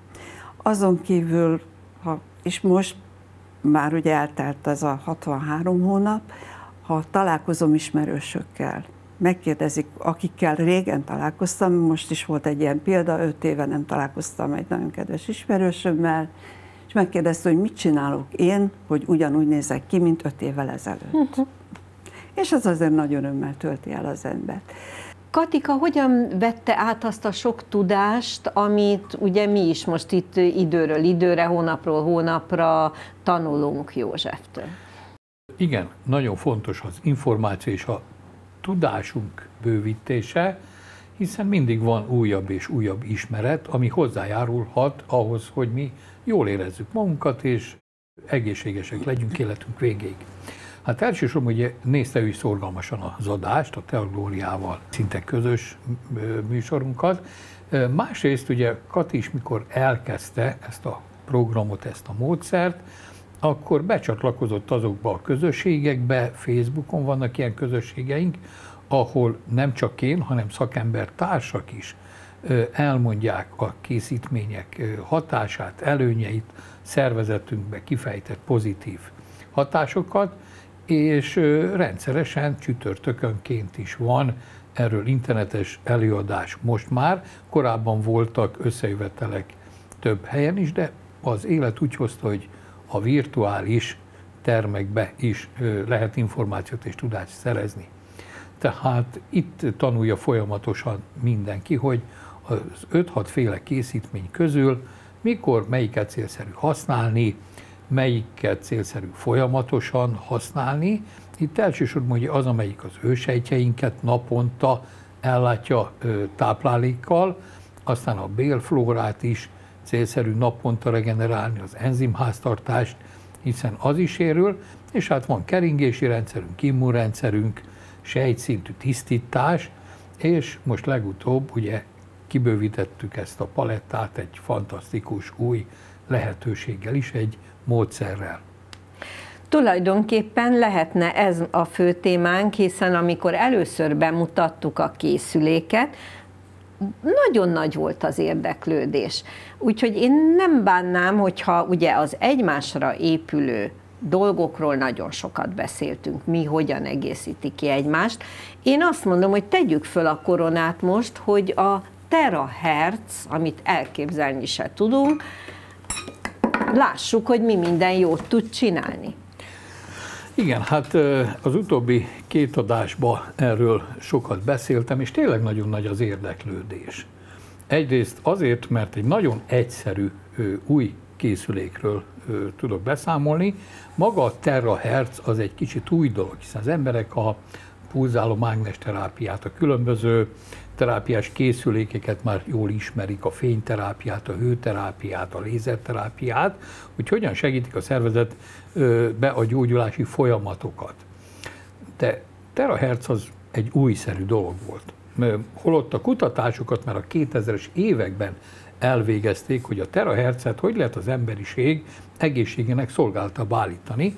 A Pécsi Orvostudományi Egyetemen is már 2000-es évek elején foglalkoztak a terahertzel, hogy hogyan lehet az emberi szervezet támogatására használni. Viszont a fő gond az volt, hogy technikailag nem tudták megoldani.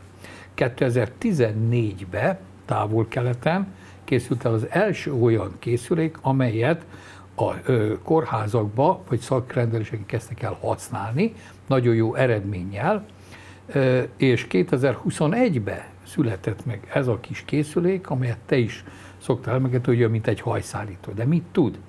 Ugye a terahertz az egy hullám, mégpedig a mikrohullám és az infravörös hullám közt helyezkedik el. Azt életfényének is nevezik ma már a tudósok, hiszen ez az egészséges sejtek rezgés szintjén rezonál. Tudjuk azt, hogy más a rezgés az egészséges sejteknek, és más a beteg sejteknek a rezgése. Ö, mit tud?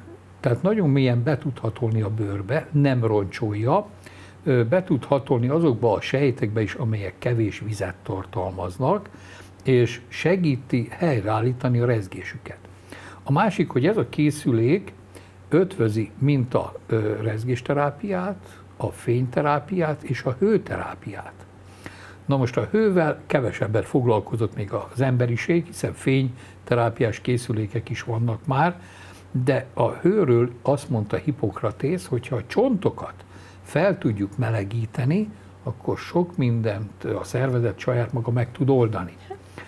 És hát 2021-től volt lehetővé, hogy lakossági szinten odahaza, mint egy, úgy tudják mondani, vagy úgy mondják ma már a szakemberek, hogy egy házi orvos van a kezünkben. Mit tud? Nagyon röviden mondva, hát azt tudom mondani, hogy nagyon kevés, amit nem tud a szervezetünkkel csinálni. Először is azonosítja például az elzáródásokat, a gyulladásokat, és megszünteti. Tehát a mikrokeringést ö, támogatja, hogy az legyen normális. Az egészséges, ö, egészségtelen sejteket hamarabb felismeri, segít a szervezet öngyógyító funkcióját beindítani. Ami nagyon fontos, hogy már Pécsi Orvostudományi Egyetem is megfigyeltek arra, hogy ez a frekvencia képes a deviáns sejteket hamarabb felismertetni a szervezettel. Itt kimondottan a daganatos sejtekre ö, fókuszáltak. Aztán növekszik az energiaszintünk. Azáltal, hogy mint a nyirokkeringést, mint a vérkeringést támogatja, és a szervezetet megszabadítja méreganyagoktól, veszélyes vegyi anyagoktól. Ö, gyulladáscsökkentés, fájdalomcsillapító hatása van, és mind a mellett felgyorsítja a szervezet öngyógyító folyamatait. Ez milyen fontos?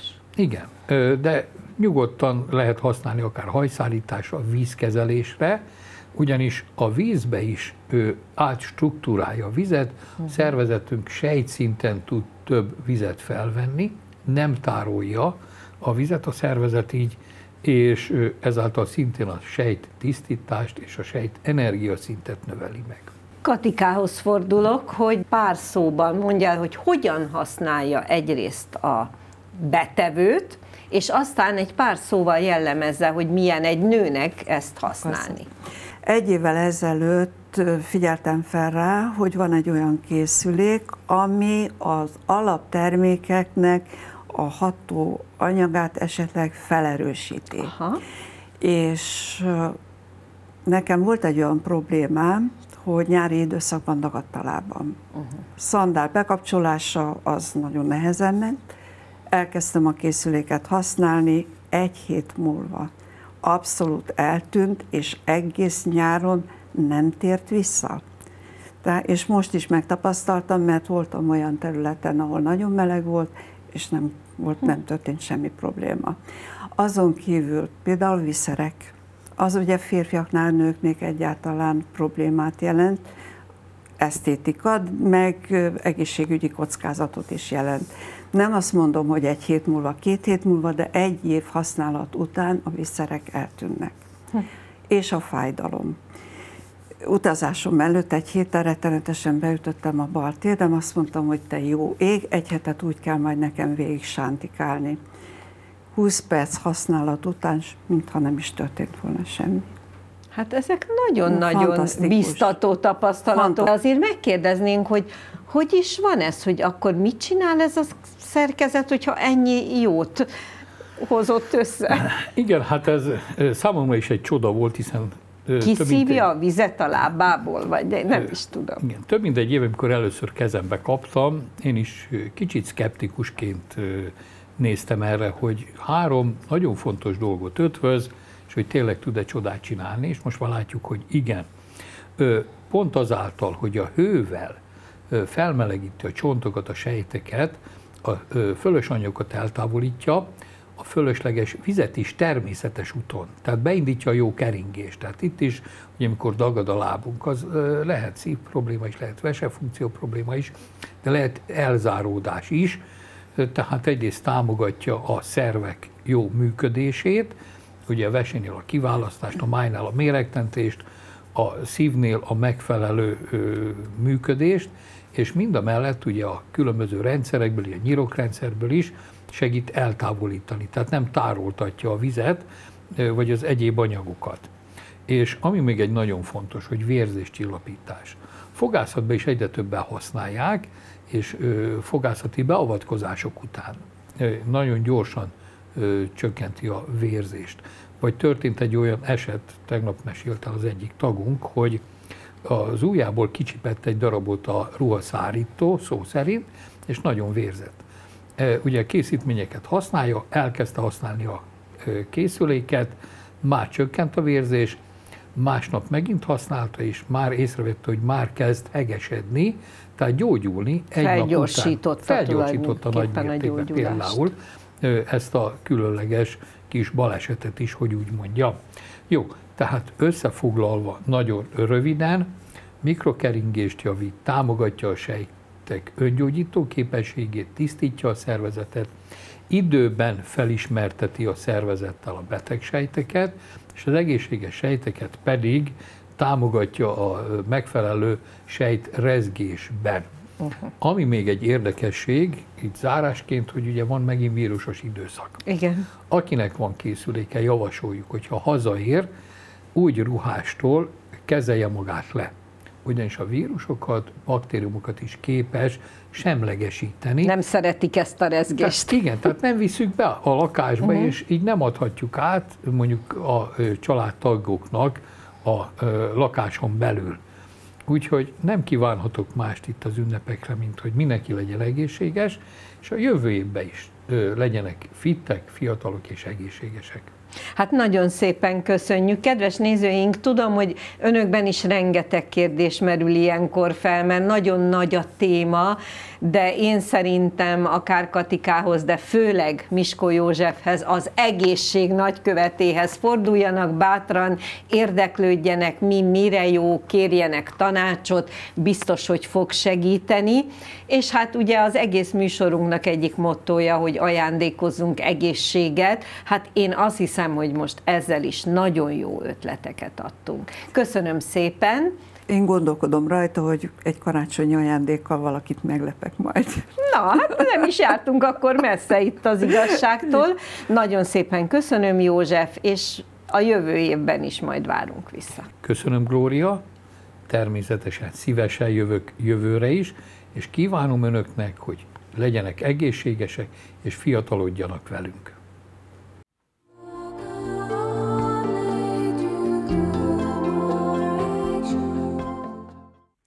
Jeles napok. Kedves nézőink, én azt hiszem, hogy különösen most, amikor bizony nagyon sok baj van a nagyvilágban, mi nem foglalkozunk politikával, de azért véleményünk van.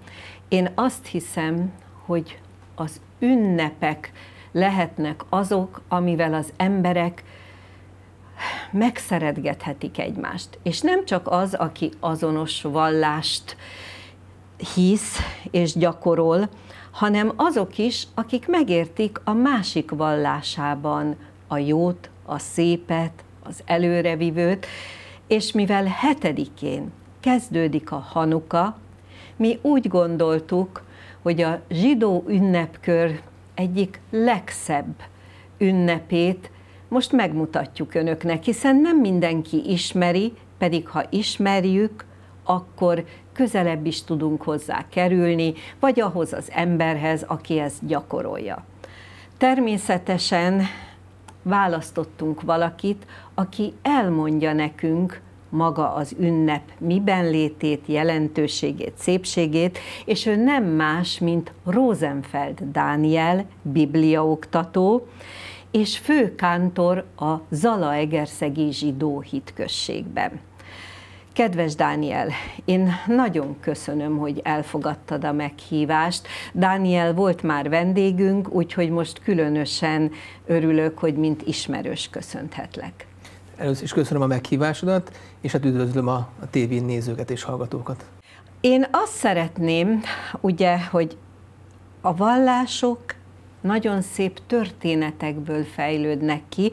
Ha mi megismerkednénk a Hanukának a történetével, mióta van, és mi volt az a csoda, amire épül? Sok csoda történt ekkor, és ez az ekkor pontosan időszámításunk előtt 138-ban játszódik, akkor járunk. A szír-görög csapat megpróbálta megsemmisíteni az akkori zsidóságot, és ugye benyomult Jeruzsálembe, megpróbálta, és többé-kevésbé sikerült is megszentségteleníteni a szentét, majd a kis Makabeus csapat szintén egy csoda folytán, isteni segédlettel meghiúsította az ő tervüket, hiszen legyőzték. Tehát ez, ez volt az egyik nagy csoda, hogy legyőzték a kis csapat, legyőzte a nagy csapatot. Maga a Hanuka szó felszentelést jelent.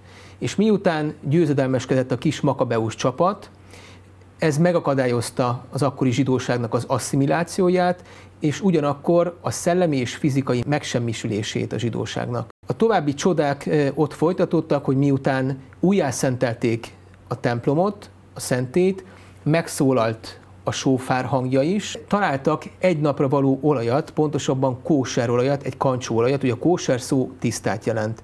És ez önmagában csoda volt, hogy egy napra való kóser tiszta olajat megtaláltak, elásva. A további csoda pedig az volt, hogy ez az egy napra való olaj nyolc napon keresztül égett, illetve nyolc napra el? való volt. Nem, hát ez, ez is önmagában a csoda. Tehát igazából a hanuka az olajnak a csodáját ünnepeljük mind a mai napig, évről évre, nemzedékről nemzedékre, generációkon keresztül, és ezért van nagy jelentősége a hanukának, a fényünnepének. Tulajdonképpen az ünnep ezért is tart nyolc napig ezek szerint. Így van. Tehát mindig ugyanazon a napon kezdődik, vagy pedig kötődik valamilyen természeti jelenséghez is. Ugye a polgári időszámítás az kicsit más, mint ugye a, a zsidó időszámítás. A zsidó időszámítást azt mindig a hold állás alapján számolják ki, és minden évben kiadnak egy, egy úgynevezett zsidó naptárt, a Luach, amelyben percre pontosan le van írva, hogy milyen ünnepek mikor fognak bekövetkezni. Ugye a zsidó dátum szerint mindig Kiszlév 25-ével, 25. napjával kezdődik a Hanuka, ami természetesen ugye a polgári időszámításban mindig más időszakra tendálódik. Valamikor egybeesik a karácsonyjal is, uh-huh. de most igazából most megelőzi a Hanuka a karácsonyt. Akkor ez azt jelenti, hogy minden napra tudjuk, hogy mikor kell meggyújtani a gyertyát, vagy a mécsest? ugye a, napok mindig estével kezdődnek, mint ugye a teremtésben, ugye a bőrősít, a Genesis, hogyha így fogalmazunk, ugye a teremtés könyvében, a Mózes első könyvében, ugye oda van írva, le van írva, hogy erre vóker, az azt jelenti, hogy e, este is, tehát lőn este és lőn reggel. Hiszen a jó Isten így találta ki a forgatókönyvét, hogy először megteremtette a sötétséget, majd a világosságot. És mindig a sötétségből megyünk a világosság felé, és ugyanúgy a gyertyák is szimbolizálják azt, hogy minden nap egy, egyre több és egyre több gyertyát gyújtunk meg. És így haladunk a szentség felé, és az ünnep. Ünnepet így tudjuk fokozni, hogy minél több gyertyát gyújtunk meg minden nap. Van-e egy kiteljesedés? Mi történik a nyolcadik napon?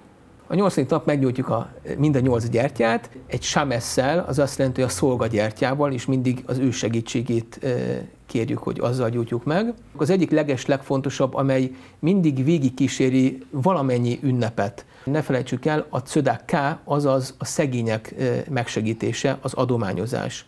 Mint ahogy karácsonykor is igyekszünk jót tenni a másikkal, persze én azt szoktam mondani, hogy jót tenni másokkal, meg a szeretet az nem egynapos történet, meg nem kétnapos történet, hanem igyekezünk mindig jó cselekedeteket végrehajtani, Isten dicsőségére, ezért szokás ilyenkor olajban sütött ételeket fogyasztani, hát a nagy sláger mindenhol világszerte a fánk.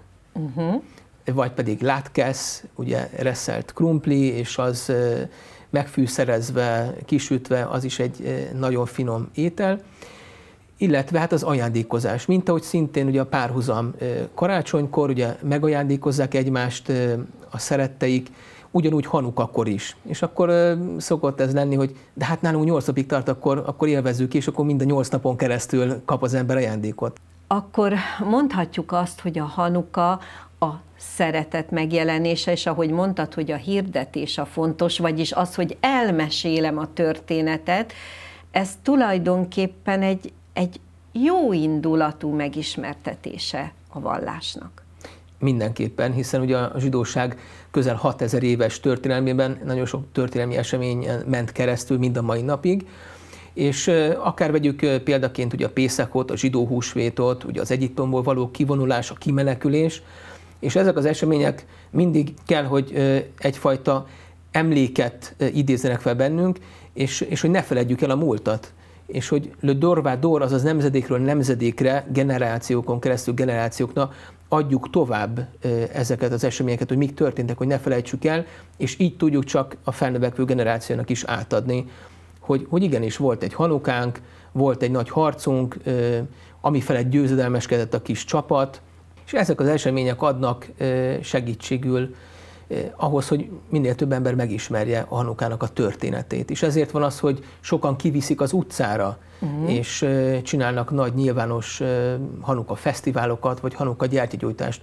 amire nemre kora is felekezetre volt tekintette, mindenkit szeretettel várnak.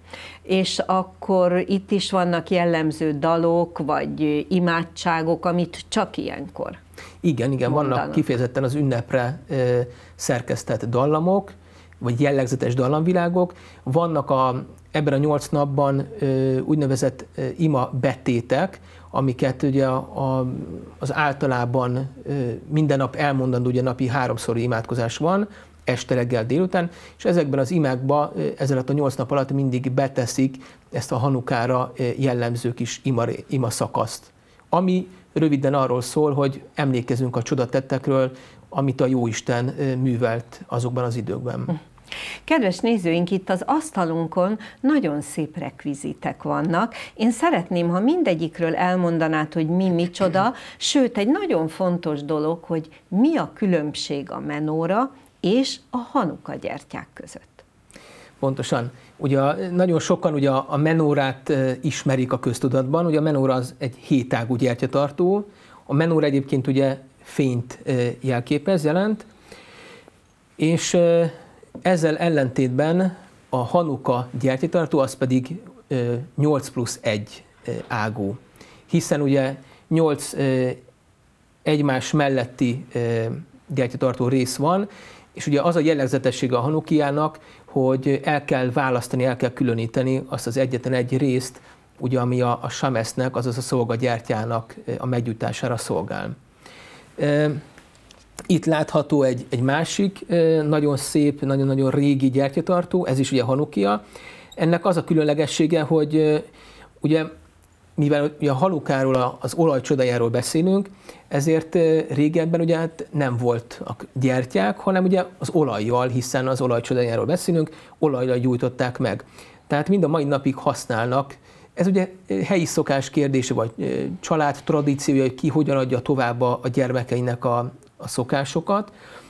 Tehát van, aki gyertyát gyújt, van, aki pedig az olajmécsesekkel őrizze meg a, az ünnepnek a jellegzetességét. És akkor abból a kis tartóból, ami a kezedben van, így fog meg, légy szíves, hogy látszódjon? Igen, tehát... A, ott az nagyon, a samesz? Igen, ez egy nagyon cuki kis samesz, és akkor ezzel kell meggyújtani a... Feltölteni a feltölteni kis a, kejheket. Így van. Nagyon-nagyon szép darab. Hát hiába, mint minden, ami régi, műves, míves, nagyon-nagyon szép dolog.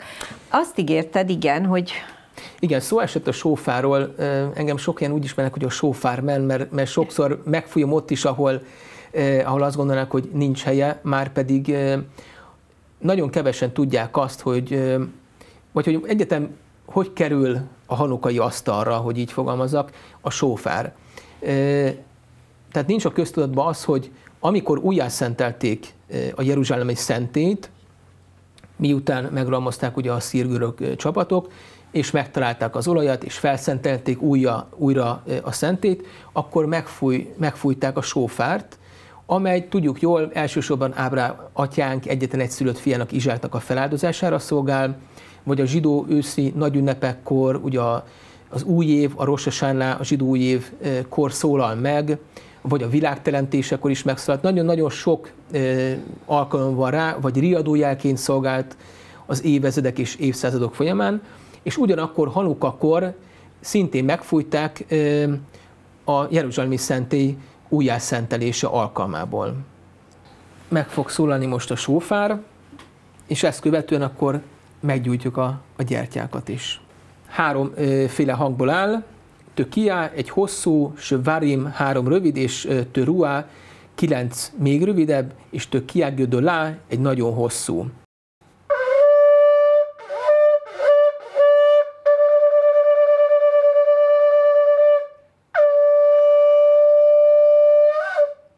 Milyen érdekes, hogy a hangok belemásznak az ember lelkébe, testébe, nagyon jó szót találtál, eh, hiszen egyúttal az őszi nagy ünnepek során a sófár lelkiismeret ösztönzése készteti, és nem csak a zsidó embert, hanem Isten minden teremtményét. Úgyhogy ez tényleg eh, a lelkekig eh, hat. Hát köszönjük, kedves Dániel, és akkor most, kedves nézőink, meglátjuk azt a fajta szertartást, ahogy a Hanuka gyertyákat meg kell gyújtani. Most el fognak hangzani az áldások, az első nap három áldás hangzik el, de most mivel minden nyolcat meggyújtjuk, ezért csak két áldás hangzik el. Magyarul így hangzik, áldott vagy te örökkévaló Istenünk, a világ királya, világ teremtés királya, aki megszentelt bennünket parancsolataival, és meghagyta nekünk a Hanuka lányainak a meggyújtását. Áldott vagy te örökkévaló Istenünk, a világ királya, aki megőrzött bennünket, és meghagyta, hogy megérjük ezt a mai napot, illetve a harmadik áldás pedig, áldott vagy te örökkévaló Istenünk, a világ királya, aki csodákat művelt azokban az időkben, ezekben a napokban.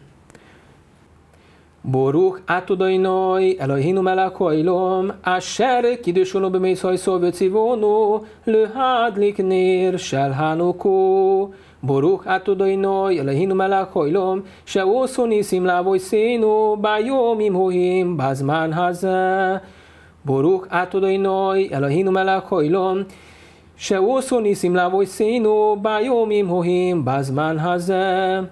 Sehehe jónó, vöki mónó, vögi jónó, lázmán ház. És egyébként balról helyezzük be mindig a gyertyákat, és mindig a legújabbakat az aznapival kezdjük, tehát mivel most az utolsó nyolcadik napot prezentáljuk, ezért balról kezdtük a gyújtást is majd legvégül behelyezzük a szolgagyertyát, a sameszt a megfelelő helyére. Mikor ez mind megtörténik, akkor elcsendesedik a család, vagy aki éppen ünnepel, vagy mi történik utána? Ezek után van még két nagyon híres dal, amit, hogyha közösségben vagyunk, akkor tánccal és vidámsággal koronázunk meg. Illetve hát az egyik szabály az, hogy törekedjünk a nyolc napon keresztül nem tiltott a munkavégzés, de törekedjünk arra, hogy ebbe a fél órácskába, amikor megyül, megyül, megyuladnak a gyertyák, akkor lehetőleg ö, mélyedjünk el az ünnep szentségében. Kedves nézőink, hát mivel zárhatnánk szebben ezt a beszélgetést, mint a költő szavaival. Patai József gyönyörű verset írt a Hanuka címmel, és megkérjük Dánielt, hogy mondja ezt el nekünk. Patai József Hanuka. És eljött az est, édes nyugalmat hintva az ostromolt városa szerte szét, és diadalmi mámorba ringatta a győzedelmes hősök seregét. A szentélyben kigyulladt újra a tündöklő, szentrégi fény, és a szívekben feltámadt újra a tündöklő szentrégi fény. A hazugság bálványa porba hullott, és az igazságül büszkén diadalt, futott a sötétség, győzött az eszme, a világosság győzött nem akart. Csillogva lobbant fel az oltár, és büszke lángja égre szállt, milliók szívében tépő kétség, újongó bizalomra vált. És terjedt a világosság egész világra fénylő sugarát, s csodás hatalmú bűvös erejével a legzordabb sötétet törte át. És terjed, terjed, egyre szélesebben, egyre magasabban fellobog, fennen hirdetve az örök jövőnek, a világosság mindig győzni fog. Hanuka Haksameach, boldog Hanukát mindenkinek!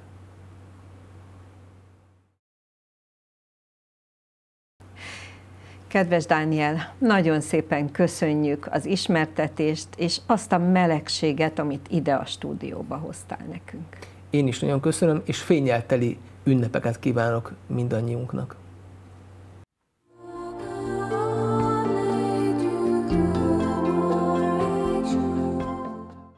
egészségünkre.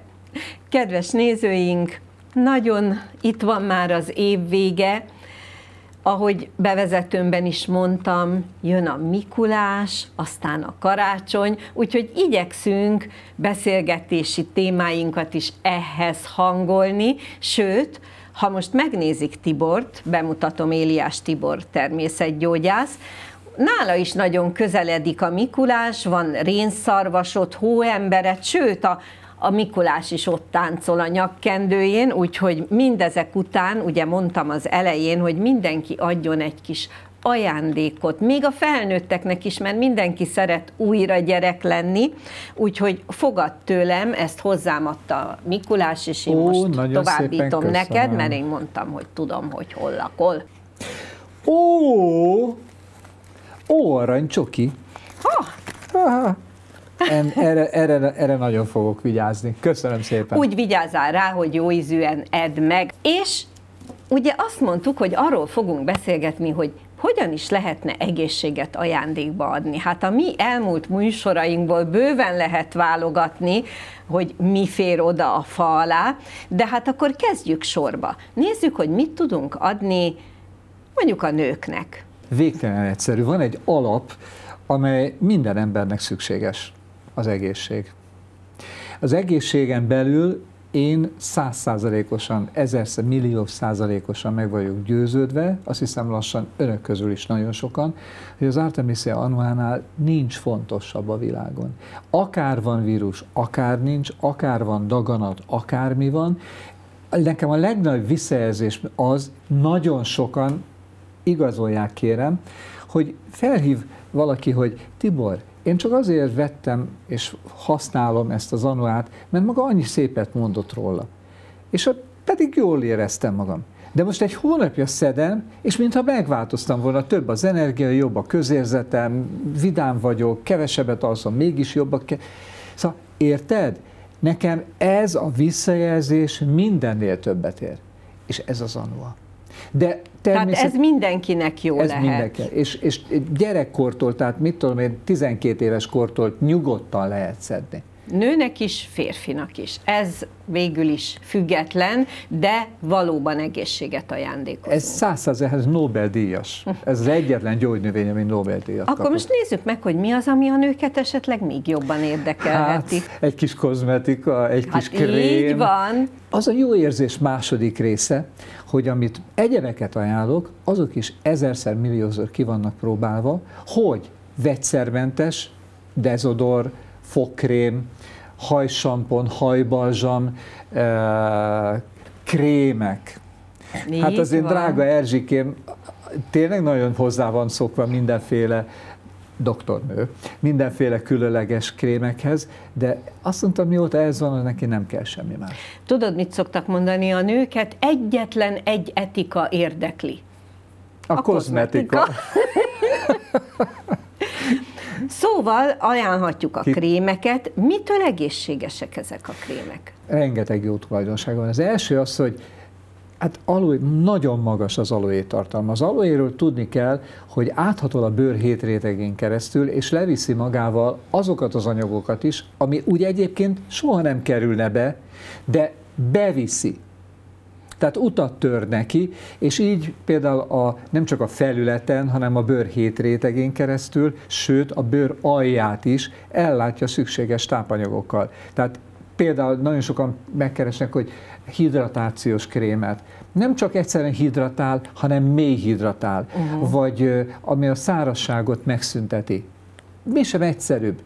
Tehát ez egy olyan univerzális krém, amivel tényleg masszírozni nagyon jó, nem kell fél órát Tehát masszírozni. vannak arcra valók, és vannak testre, testre valók? valók? Igen. Uh-huh. Hát a lábujjaktól a, a homlok ráncokig uh-huh. mindent lehet vele csinálni, de, de nagyon nehéz helyzetben vagyok, hogy tényleg most, hogyha én nekem valakinek ajándékozni kell, akkor melyiket mondanám? Hát egy kis szép szettet össze lehet állítani. Így van, így van. Vagy éppen a fürdéshez, mosakodáshoz, vagy az arcápolás, vagy például, amit ritkán szoktunk kapni, a pakolások, Úgyhogy szerintem érdemes Tiborhoz fordulni, hogy bizonyos bőre mit ajánlasz. Tehát ezek a kozmetikai terület, amiről ritkán beszélünk, mert férfi vagyok, és nem szoktam annyira beleártani magam, de a visszajelzések azok, azok csattannak nálam egy-egy puszi formájában, jaj, ez nagyon jó volt, tipikus esete. Férfiaknak pedig azt mondom, hogy hát nézzék, sajnos a történelem úgy forog, hogy már fiatal korban problémák vannak férfiaknál, nőknél kevésbé észrevehető, de fiatal embereknél már 30 éves kortól van egyre több olyan probléma, amit meg kellene oldani, és amiről most nem publikus beszélni. De ha már itt tartunk, a múltkori két adásunk után is nagyon sokan érdeklődtek, hogy akkor mégis most van a nőknek meg a férfiaknak azokra a problémákra, Igen. az urogenitáliára emlékeznek, Igen. akkor hát mondjuk ilyet nem biztos, hogy illik ajándékba adni, de azért mondjuk el, hogy forduljanak hozzád, mert hogy a van leg, erre. A legbizalmasabb ajándék, hogyha egy hölgy a férjének ad ilyet. Hát családon mert belül. családon belül marad. De hogyha egy jó barát egy barátnőjének adja, hogy majd adod a férjednek, szóval értik, segítsünk egymásnak, emberek, egymásra vagyunk utalva. Csak az... hogy ebben a témában külön kell a férfi, Így van. és külön kell a női oldalt vizsgálni, és mindegyikre az a bizonyos jel, biztos mindenki ismeri a kör fölött a kereszt, vagy a körben jobbra lenyúló nyíl. De azért van olyan dolog, amivel mind a kettők nagyon jól Igen. járnak, hogy használják. Például egy olyan sikosító krém, amely hihetetlenül jó visszajelzéseket kapott, de például az a, az a bogyócska, amivel mind a ketten nagyobb örömhöz juthatnak. És ez szedheti nő is és férfi is. Jó. És kortól független. Akkor megint egy újabb oldalát. A férfiaknak is ma már egyre több problémája van a bőrével. Nekik is ajándékozhatunk a szépség palettáról valamit? Ez a krém az egész családnak szól. Tehát a, a szószoros értelemben a pólyás babától a 120 éves nagymamáig. Mm. Nem csak, hogy, nem csak, hogy hidratál és, és a bőrproblémák döntő részét rendbe teszi, hanem, hanem ránctalanít is. Tehát olyan érdekesen oldották meg ezt a krémet, hogy univerzális. Aztán van kifejezetten olyan, ami az izületi reumatikus problémákra való krém, vagy például megszünteti ezeket a bőrfoltok, az, uh-huh. különösen az idősödő foltokat, most nem azért mondom, tehát én is elmúltam 70 éves, tessék már megnézni, hogy hogy nézek ki. Jó, van néhány karikám, de ez elsősorban attól van, hogy tényleg már 3-4 órákat alszom. Jó, kihagytuk a gyerekeket. Nekik mit tudunk adni? Hát először is egészséges tablettát, ami cukorka. Úgy néz ki, mint egy kis cukorka? Abszolút úgy néz ki, sőt, ilyen kis figurák vannak készítve belőle, és imádják. Tehát, és mire jó? Mi van benne?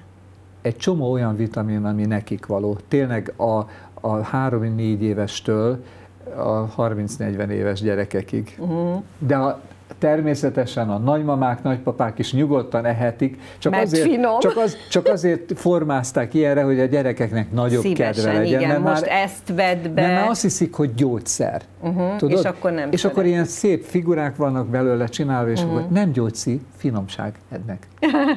Hát ez és nem lehet túladagolni. Ez olyan, mint hogy azt mondanám, hogy szőlőt egy szemet vehetek, vagy egy fürtöt, amennyit akarsz, egyél. Az a jó. De hát ez nagyon fontos dolog, hogy a gyerekek hozzászokjanak a táplálék kiegészítőköz, finom legyen, és azért persze minőségi. Nem és egy, még egy nagyon érdekes dolog, egy nagyon köszönöm annak a kedves telefonáló hölgynek, aki, aki azt mondta, hogy azért szereti ezt a gyereknek ad, adható ö, tablettát, mert a gyerek bizalma megnőtt. Uh-huh. Húha, én erre soha nem gondoltam, hát 16 éve járok, ezt még soha nem ajánlotta senki a figyelembe, hogy annak a gyereknek, amikor azt mondja az anyu, hogy edd meg kicsim, mert nagyon finom. És nagyjából úgy, akkora meg úgy néz ki, mint egy gyógyszer, de figurás, és akkor legközebb a gyógyszit kell bevenni, emlékszel, az is sokat segített neked. Edd meg, ez is olyan jó lesz. Más az íze, de nagyon jó lesz. Uh-huh. Igen, ez egy nagyon szép és okos gondolat. Tehát, amikor ajándékozunk, lehet nagy ajándékokat, de ilyen kis kedves, kiegészítő ajándékok, mondjuk a karácsonyfa alatt, szerintem nagyon ötletes, nagyon jó. Na, mit tudunk még? Mit adhatunk még ajándékba, ami egészséges, és én itt valamire nagyon gondolok. Tudom, hogy mire haragszol. gondolsz. Ez egy nagyon-nagyon-nagyon-nagyon finomság, és nagyon-nagyon-nagyon régi recept. 1749-es uradalmi szakácskönyvbe találtam, kézzelírott szakácskönyvbe, hogy úgy van, úgy van írva, hogy hecserül asszó eszencia. Tudnék, ez egy német nyelvű családnak, volt, igen? családnak a kézikönyve. Magyarul íródott, de egyes szavak olyan németesen vannak uh-huh. írva. Ez azért rettenetesen fontos és érdekes, mert amellett, hogy tényleg nagyon finom, amellett a, a csipkebógyónak a saját összes hatóanyaga benne ázik minimum 5-6 éven keresztül. Tehát nincs hozzátéve semmi, csak méz. Hogyha a csipkebogyó asszura azt mondják az emberek, hogy az egészség tárházát tartalmazza, akkor higgyünk már az őse, őseinknek, hogy már akkor is nagyon nagy becsbe tartották. És hát tényleg nagyon finom. Nem muszáj gyógyszerként enni, hanem itt este egy kis kupicával. De mégis jótékony a hatása. És, és, és érezni kell az ízeket. Uh-huh. Nagyon-nagyon finom. És akkor még egy érdekesség, ha emlékeznek, Tibor azt ígérte, hogy olyan kevés karácsonyi dalokat tartalmazó lemez lesz, hogy csak a nézőink kaphatják. Hogy áll ez? Mikortól lehet már kérni? Hát őszinte legyek, már itt a hétvégén meg lesz. Tudnék, egy új csomagolást találtak ki, egy olyan, mint egy boríték, egy kis boríték, tehát nem, nem plexi, amely, mint tudjuk, törik, hát, és hát nehéz hát, elküldeni. És, és a, a természetet roncsolja. Uh-huh. Az alapanyag is, meg amikor kidobálják, akkor nem lehet vele mit kezdeni. Ez papír csomagolás, és olyan, mint egy kis boríték, de a legfontosabb De az, hogy milyen dalok van, vannak benne. Így van. A Szent Visán Bazilika nagy harangja, amely egy évben egyszer szólalhat meg augusztus 20-án, ugye Szent Istvánkor, azzal kezdődik és befejeződik egy harangjátékkal, amin a, a Csíksomjói harangtól, a Kecskeméti öreg templom, a Tihanyi apátság harangja, stb. egy zenebona csodálatos, és közben a legszebb magyar ö, ö, karácsonyi dalocskákon kívül néhány nemzetnek a saját karácsonyi felvételei vannak. Én nagyon-nagyon boldog vagyok vele, mert ez, ez tényleg örök, örök emlék, mert akitől kapta, azt minden évben meghallgatja, sőt, lehet, hogy még évközben is. Hát köszönjük Tibor, úgyhogy bőven adtunk most ötleteket, forduljanak bátran a Tiborhoz, mert ha még megtudja, hogy kinek szánják, biztos, hogy fog segíteni is, és megmondja, hogy miket ajánl. Köszönjük, és akkor ezzel vége is mára ennek az adásnak. Itt kell, hogy elmondjam, hogy nagyon sok telefont kaptam, hogy én mit szólok egy bizonyos karácsonyi vershez, Természetesen, mint magánember beszélek csak róla, az Ó Tannenbaum dallamára hallhatjuk naponta nagyon sokszor, Amire azt szoktuk mondani, hogy na hát nem homlokon csókolta a múzsa, hanem jó nagy pofont adott a költőnek, nekem is az a véleményem, hogy szörnyű, de hát most mondjam azt, hogy akkor el kell kapcsolni, nem kell meghallgatni. Elég nagy baj az, hogy vannak akik mindezt még engedélyezték is, egyetértek önökkel, ennyit erről a csodás versikéről. Kedves nézőink, ha szeretnének többet tudni rólunk, akkor tudják www.teaglóriával.hu, vagy a Facebook oldalon a keresőbe a műsor címe, vagy a műsor állandó telefonszáma, és örülök, hogy ilyen témákkal is megkeresnek, az pedig így szól 0620 9 340 330. Ezt reggel 9 után, de este 9-ig lehet hívni, és várják a jövő heti adásunkat, addig pedig fogadják meg Tibor tanácsát, hogy éljenek egészségesen. egészségesen.